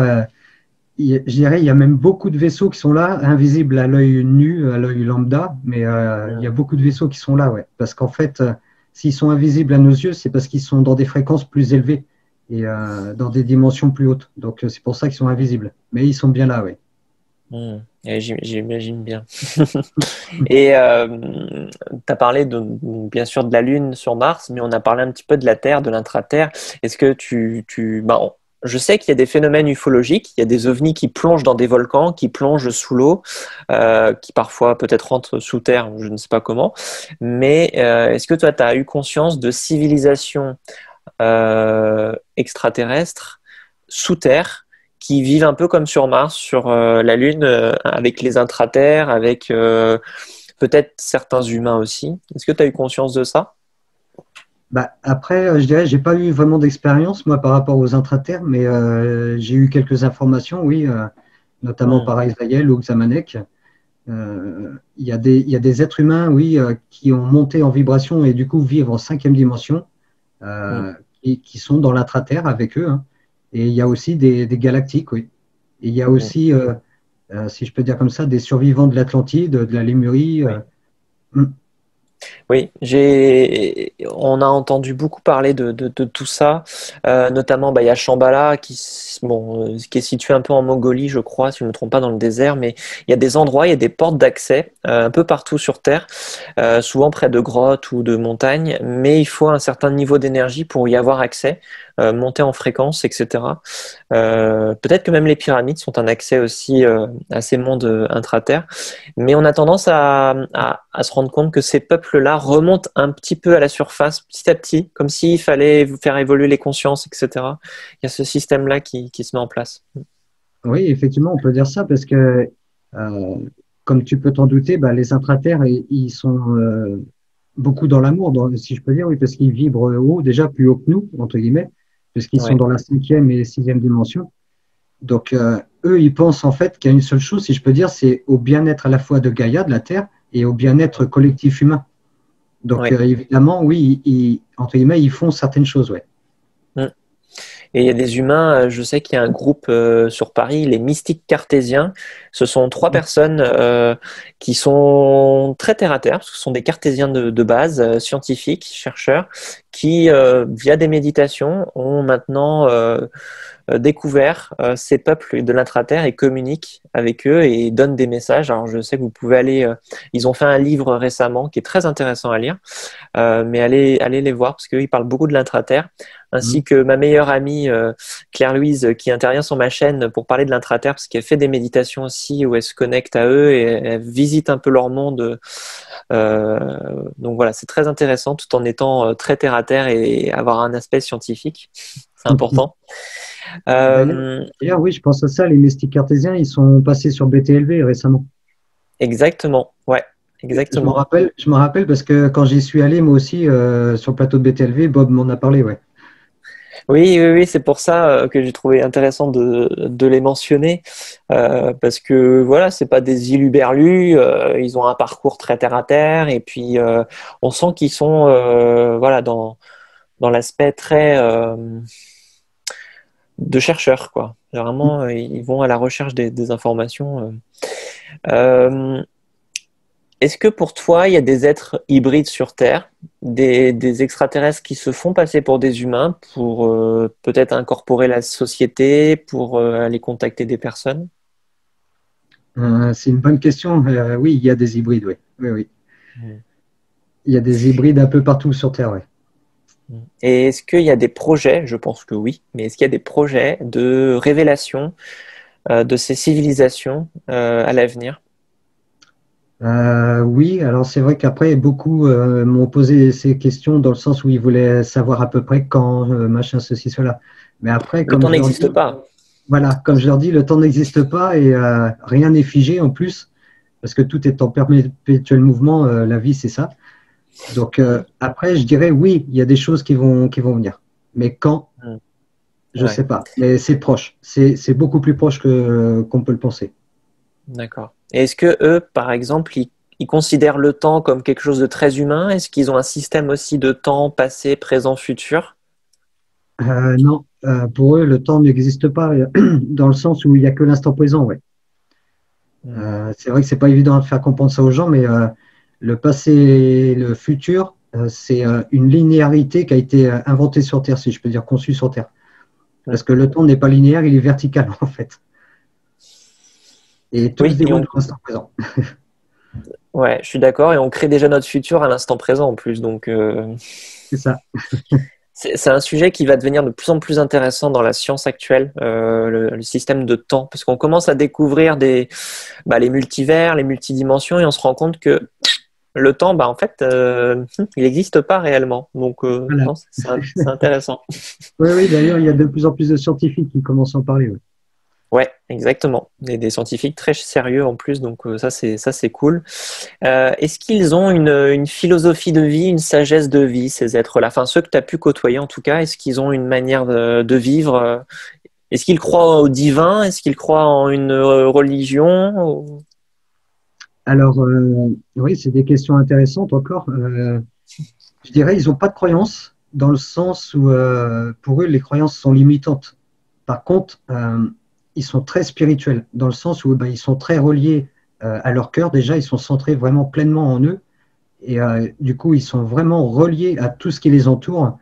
Et euh, pour employer un terme, oui, ils disent, oui, on fait partie de la source, on est relié à la source. Hmm. Donc, ils n'ont pas de pratique religieuse ou autre comme sur Terre, quoi. Mais ça ne les empêche pas d'être hautement spirituels. D'accord. Et est-ce qu'ils ont un système, euh, bon, on sait qu'il y a les annales akashiques, mais est-ce qu'ils ont un système de livres, de culture via la lecture?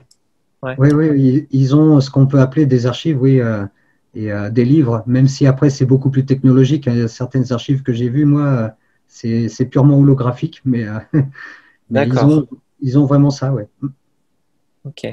Et Bon, ça c'est un sujet très compliqué, mais le principe de déplacement dans l'univers, comment ils, euh, ils font? Est-ce que leur véhicule se dématérialise quand ils voyagent pour aller plus vite? Est-ce qu'ils utilisent des trous de verre? Est-ce qu'ils utilisent des trous noirs? Euh, C'est compliqué, hein, mais...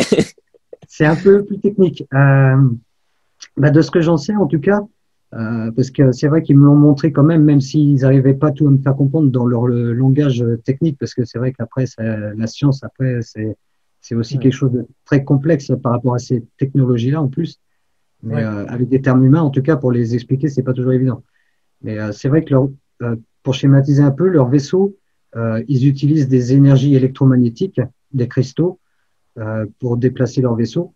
Et en plus, ces vaisseaux sont, sont vivants, ils sont organiques, ils sont reliés à leur conscience.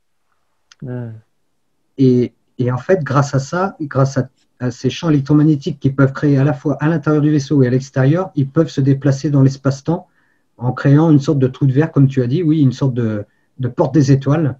Et c'est vraiment ça. Hein.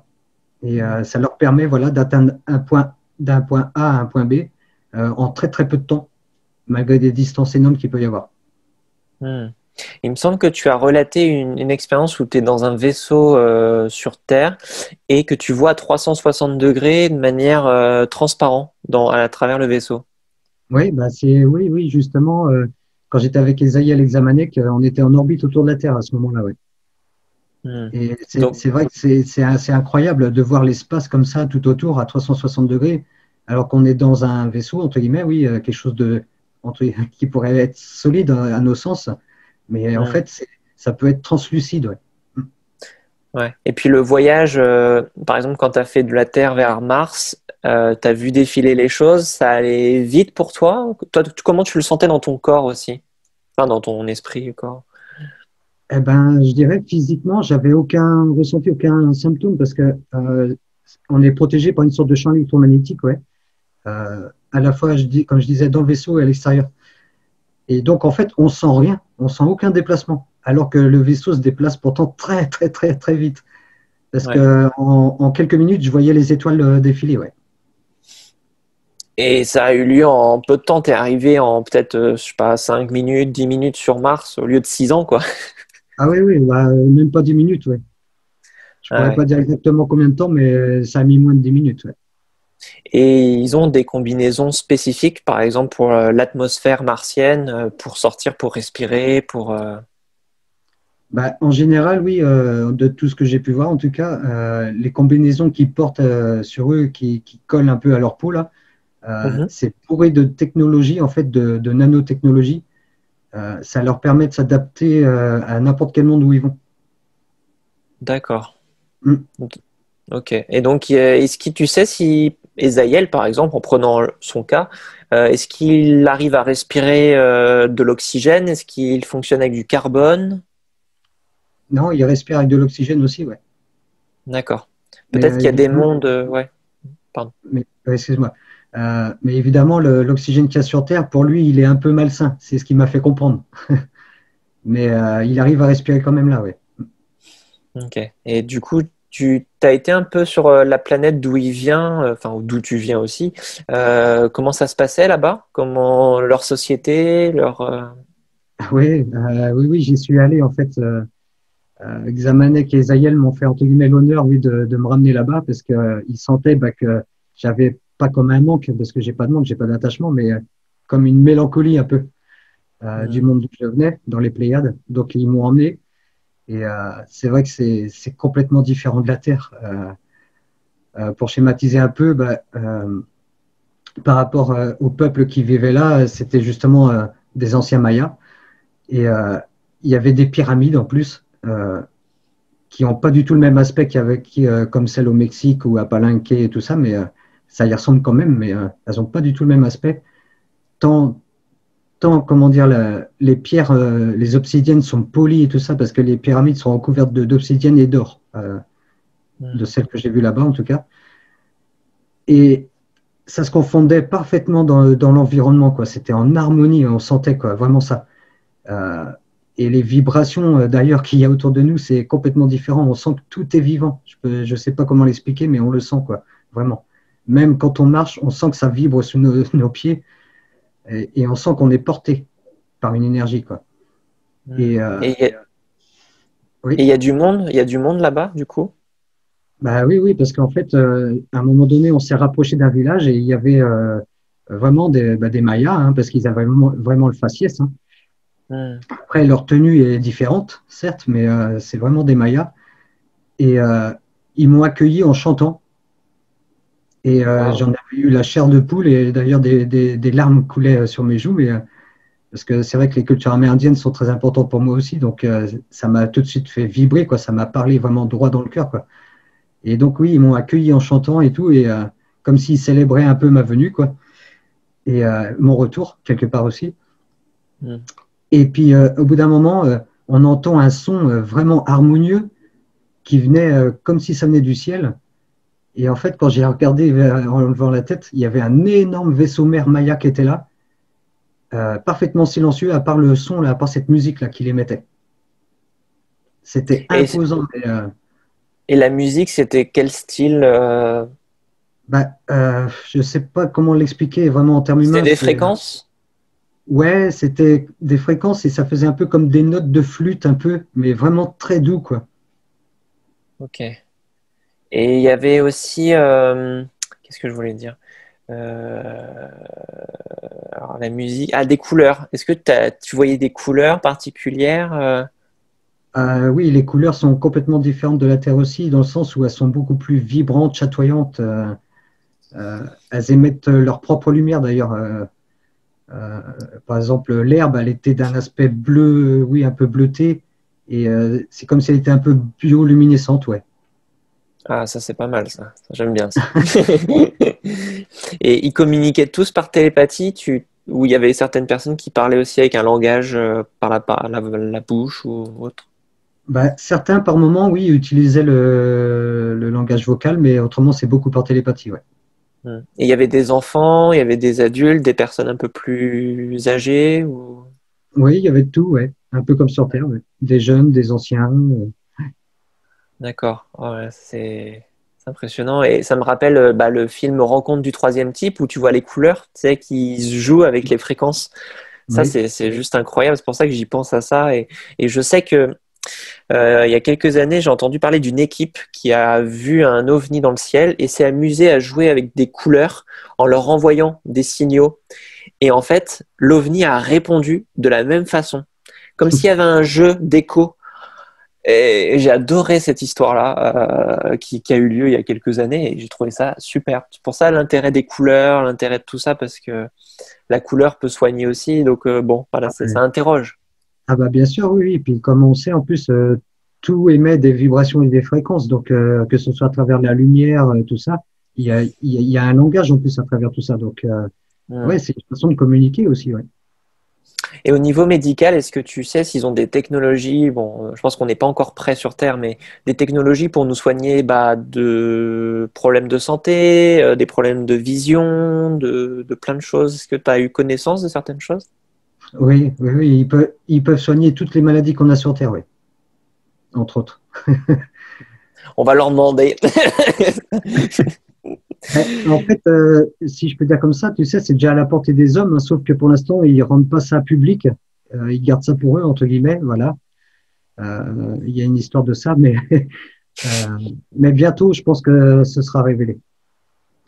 Parce que c'est vrai que de plus en plus, on voit des informations là-dessus, de plus en plus de gens commencent à en parler, donc ce qu'on appelle les Medipods ou les Medbeds, enfin voilà, ce genre de technologie euh, qui peut régénérer et vraiment euh, soigner. Ouais. Hmm. Et au niveau économie, ils ont de l'argent, ils ont des systèmes comme ça d'argent pour acheter, pour vendre Non. Non. C'est du partage oui, c'est que du partage. Euh, en fait, euh, les formes monétaires existent que dans des mondes en trois dimensions, si je peux dire. D'accord. Là, là où il y a de la dualité, en plus, parce qu'il y a des mondes en 3D où il n'y a pas de dualité, mais euh, étrangement. mais, mais ouais, c'est ça, ouais. Et ils ont un système de gouvernance, de politiciens, de, de gens qui sont dans la hiérarchie et qui dirigent un peu leur société euh, c'est une bonne question. Euh, je dirais en fait, il n'y a personne qui dirige vraiment, mais il y a ce qu'on peut appeler un conseil parmi tous ces peuples. Dans chaque peuple, d'ailleurs, il y a des conseils euh, où c'est des anciens et des sages qui décident entre eux, entre guillemets, de telle et telle chose pour le peuple, en fait. Hmm. Ils pensent avant tout à chaque fois au peuple, ils pensent à autrui, ils ne pensent pas à eux. Oui, j'imagine. Et est-ce qu'ils ils ont des animaux aussi? Est-ce qu'ils communiquent avec la nature, les arbres euh? ah Oui, oui. Euh, euh, les animaux, ils sont en relation étroite avec eux et ils communiquent avec eux par télépathie aussi, même avec la nature. Oui, ah, oui, oui. Est-ce que tu as vu des, des, animaux qu'on ne trouve pas sur Terre ou des êtres étranges? Oui, j'ai vu quelques animaux. Après, euh, comment il s'appelle, je pourrais pas te le dire. Mais... non, bah non, pas, t'inquiète pas. et puis euh, l'aspect après, oui, est différent de ceux qu'on a sur Terre. Alors, euh, il y a eu un animal surtout qui m'avait surpris dans le sens où il ressemblait à un gros chat, quelque part, si on veut, ouais. sauf qu'il avait six, il avait six ou huit pattes, il me semble bien. D'accord. Ouais. Mais très très beau, hein. mine de rien. Mm. Mais surprenant. Ça nous rappelle ça nous rappelle un peu les dieux égyptiens, les trucs comme ça. C'est mystérieux. Euh, au niveau de l'architecture, euh, donc tu as parlé de pyramides. Euh, c'est vrai que les pyramides en obsidienne, en or, ça peut en effet exister, puisque déjà, on se rend compte que les pyramides d'Égypte ou de pyramides de Bosnie avaient été faites un peu d'une certaine manière. Et on a même retrouvé sous les statues de l'île de Pâques des obsidiennes qui étaient cachées, euh, mm. des morceaux d'obsidienne un peu partout. On voit de la silice sur les pyramides, donc euh, aussi des cristaux. Donc, mm. est-ce que toi, tu as vu des types d'architecture, des maisons, ou c'est des, des, formes géométriques de sacrés euh, Comment toi, tu vois ça? Alors, les architectures que j'ai vues, moi, c'était beaucoup euh, déjà euh, dans des matériaux cristallins euh, et de forme circulaire ou en dôme, ou, mais beaucoup sur le cercle. Ouais. D'accord. Ouais, donc c'est pas des maisons carrées. Il n'y a pas de tours. des tours, entre guillemets, si j'en ai vu une, une fois, j'en ai vu une cité avec des tours une fois dans le système d'Arcturus chez les Arthuriens. Euh, mais c'est encore des tours, euh, je dirais, complètement rondes, hein, vraiment. Il n'y a pas d'angle. Et en plus de ça, c'est là aussi un peu de nature cristalline et vraiment, c'est énergétique. D'accord. Ouais, ça vibre. On sent les structures vibrer, quoi. C'est vivant. C'est une forme d'énergie euh, comme une sorte de, de, puissance. Est-ce qu'il y a des, ont des centrales, pas nucléaires, mais est-ce qu'ils ont des centrales d'énergie comme ça qu'ils utilisent pour, bah, Je dirais oui, on peut dire ça presque, parce qu'ils ont sous d'immenses dômes, ils ont des cristaux ouais, qui apparemment euh, régulent euh, oui, les champs énergétiques et tout ça. Ouais. D'accord. Mm. Et euh, est-ce qu'ils ont des systèmes de police, d'armée, de, protection en cas d'attaque venant d'ailleurs Alors, pour tous les êtres hautement évolués que j'ai vus, en tout cas, non. ok. Je dirais, ils n'ont même pas besoin de ça. J'imagine. Parce que, Plutôt les forces involutives, du coup. Voilà, parce que les forces involutives, oui, euh, sont déjà plus bas dans les fréquences et vibrations, donc ils vivent dans des mondes beaucoup plus en 3D et 4D. Euh, ils ne peuvent pas aller au-delà. Ok. Et puis je pense qu'ils ont aussi, euh, bah, ces êtres-là, plutôt évolué, la capacité de se rendre invisible face à ces civilisations-là aussi, pour échapper peut-être à des catastrophes. Est-ce que tu as vu des, des systèmes, euh, enfin des, planètes où il y a eu de la guerre entre systèmes euh, interstellaires Est-ce qu'il y a eu des, conflits entre civilisations? Est-ce que toi, tu en as vu aussi? Oui, oui, il y en a eu. Euh, notamment, il y a eu un conflit énorme qui, a eu lieu dans toute la galaxie quasiment. Hein. il y a des millions d'années de ça pour nous. c'est la fameuse guerre d'Orion. Hein. je ne sais pas si tu en as entendu parler, mais. un peu, ouais. Mm. en fait, cette guerre d'Orion a été créés par des reptiliens involutifs, parce qu'il faut bien préciser aussi qu'ils ne sont pas tous involutifs, les reptiliens, hein, loin de là. Il y en a qui étaient d'ailleurs euh, quasiment dans la cinquième dimension au moment où toutes ces guerres ont éclaté. Et euh, c'est ça qui les a dérangés, d'ailleurs, les involutifs. Ils ne voulaient pas voir leur peuple euh, évoluer dans l'amour et la lumière. Ils voulaient garder le contrôle et le pouvoir. Donc oui, oui, non, il y a eu des grandes guerres à ce moment-là. Ça a créé beaucoup de dommages. Hein. Il y a eu des mondes de détruits d'ailleurs. D'où le fait aussi qu'il y ait des civilisations qui soient venues sur Terre aussi pour s'abriter. Bah, oui, on peut dire ça, entre guillemets, oui. Mm. Euh, parce que le traumatisme a tellement été énorme euh, durant ces guerres d'Orion là que beaucoup d'âmes ont fait le choix, oui, de venir sur Terre pour euh, entre guillemets, se régénérer et prendre le temps voilà, d'oublier de, ça. Ouais. Mm. Mm. Est-ce que, ça c'est une question importante, est-ce que tu as déjà été très très loin dans l'univers, voir ce qui se passait très loin Est-ce qu'ils t'ont autorisé? Est-ce qu'ils t'ont permis de voir des choses? Eh ben, je pourrais dire oui, dans le sens où une fois, effectivement, ils m'ont amené euh, très loin, euh, je dirais, aux bordures de notre univers, oui, euh, du côté de Cassiopée là-bas. Ok. Donc, en fait, oui, apparemment, ça se trouve vraiment à la bordure ouais, de, notre système. Et Cassiopée, en fait, ils m'ont expliqué ça plus tard, c'est pour ça qu'ils m'ont emmené là-bas, en fait, c'est que ça sert de grand portail multidimensionnel en même temps là-bas il y a beaucoup d'êtres qui viennent de la galaxie d'Andromède et pas la constellation, hein, la galaxie, euh, qui viennent justement dans notre galaxie à nous par le biais de Cassiopée. Ok, ouais. Et donc là, j'imagine qu'il y a des milliards et des milliards de civilisations. Ah, je ne pourrais pas dire exactement, mais il y a beaucoup, beaucoup euh, de présence. J'imagine, ouais. Est-ce qu'ils t'ont parlé un petit peu de, l'origine de notre euh, univers aussi, comment cela s'est formé, bien que ça dépasse notre entendement? Euh, Je dirais à la fois ça dépasse notre entendement, mais je dirais pas tant que ça. Euh, il faut bien prendre conscience en fait que beaucoup de systèmes ont été créés par des êtres, hein, notamment ceux qu'on appelle les anciens. Hein. Il y a beaucoup de monde qui ont été créés par eux. Et euh, à travers la source, parce qu'évidemment, c'est la source qui autorise, hein, évidemment, si on peut dire ça. Euh, mais oui, beaucoup de mondes sont créés par les anciens. Et le, notre système solaire, nous, entre guillemets, le nôtre euh, en fait partie. Hmm. Ça, c'est une question intéressante. Est-ce que tu as été en contact? Est-ce que, grâce à eux, est-ce que tu as pu aller rencontrer des, maîtres ascensionnés, par exemple euh, Jésus, euh, je sais pas, Mahomet euh, Est-ce que tu as été en rencontre avec ces êtres de lumière qui ont été sur Terre? Oui, c'est encore une très bonne question, ça.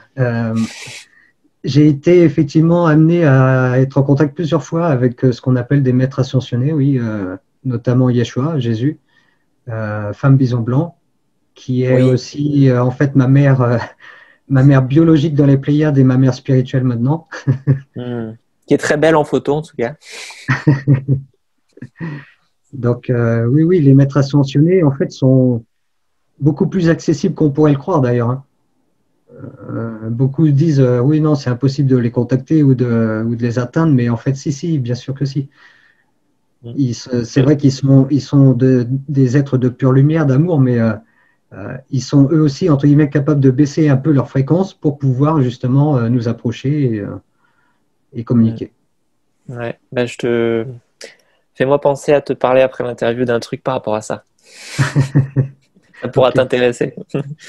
Est-ce que tu as vu des écritures comme des hiéroglyphes dans leur manière de faire? Parce qu'on a, euh, sur une base, euh, une base américaine de l'OTAN en Angleterre dans les années 60, si je ne me trompe pas, ou un peu plus tard.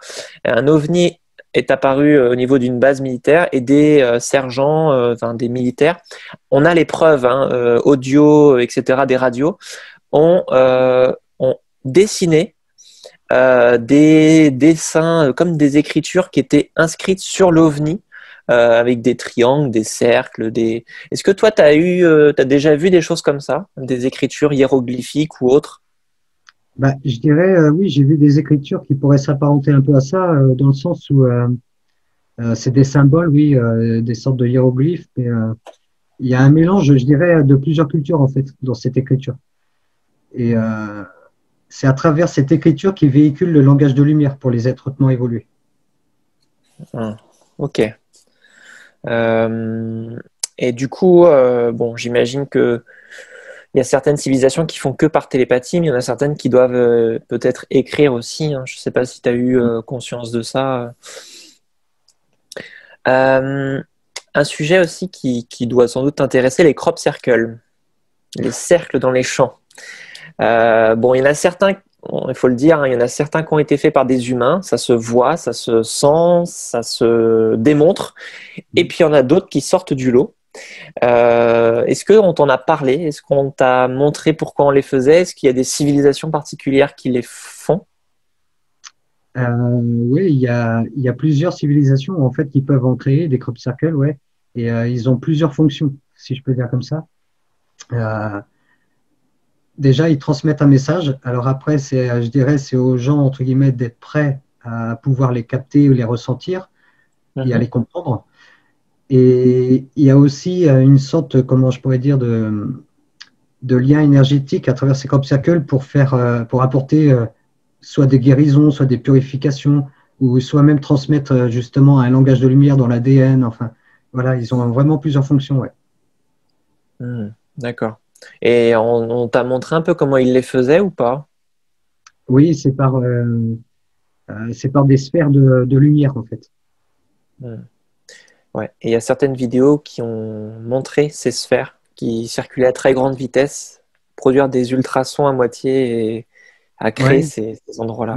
c'est un peu ça, ouais. En fait, c'est avec leur fréquence, ouais, euh, euh, par rapport à la façon dont ils volent, et ben, ça recrée vraiment le, le, bah, le message, entre guillemets, euh, au sol, quoi.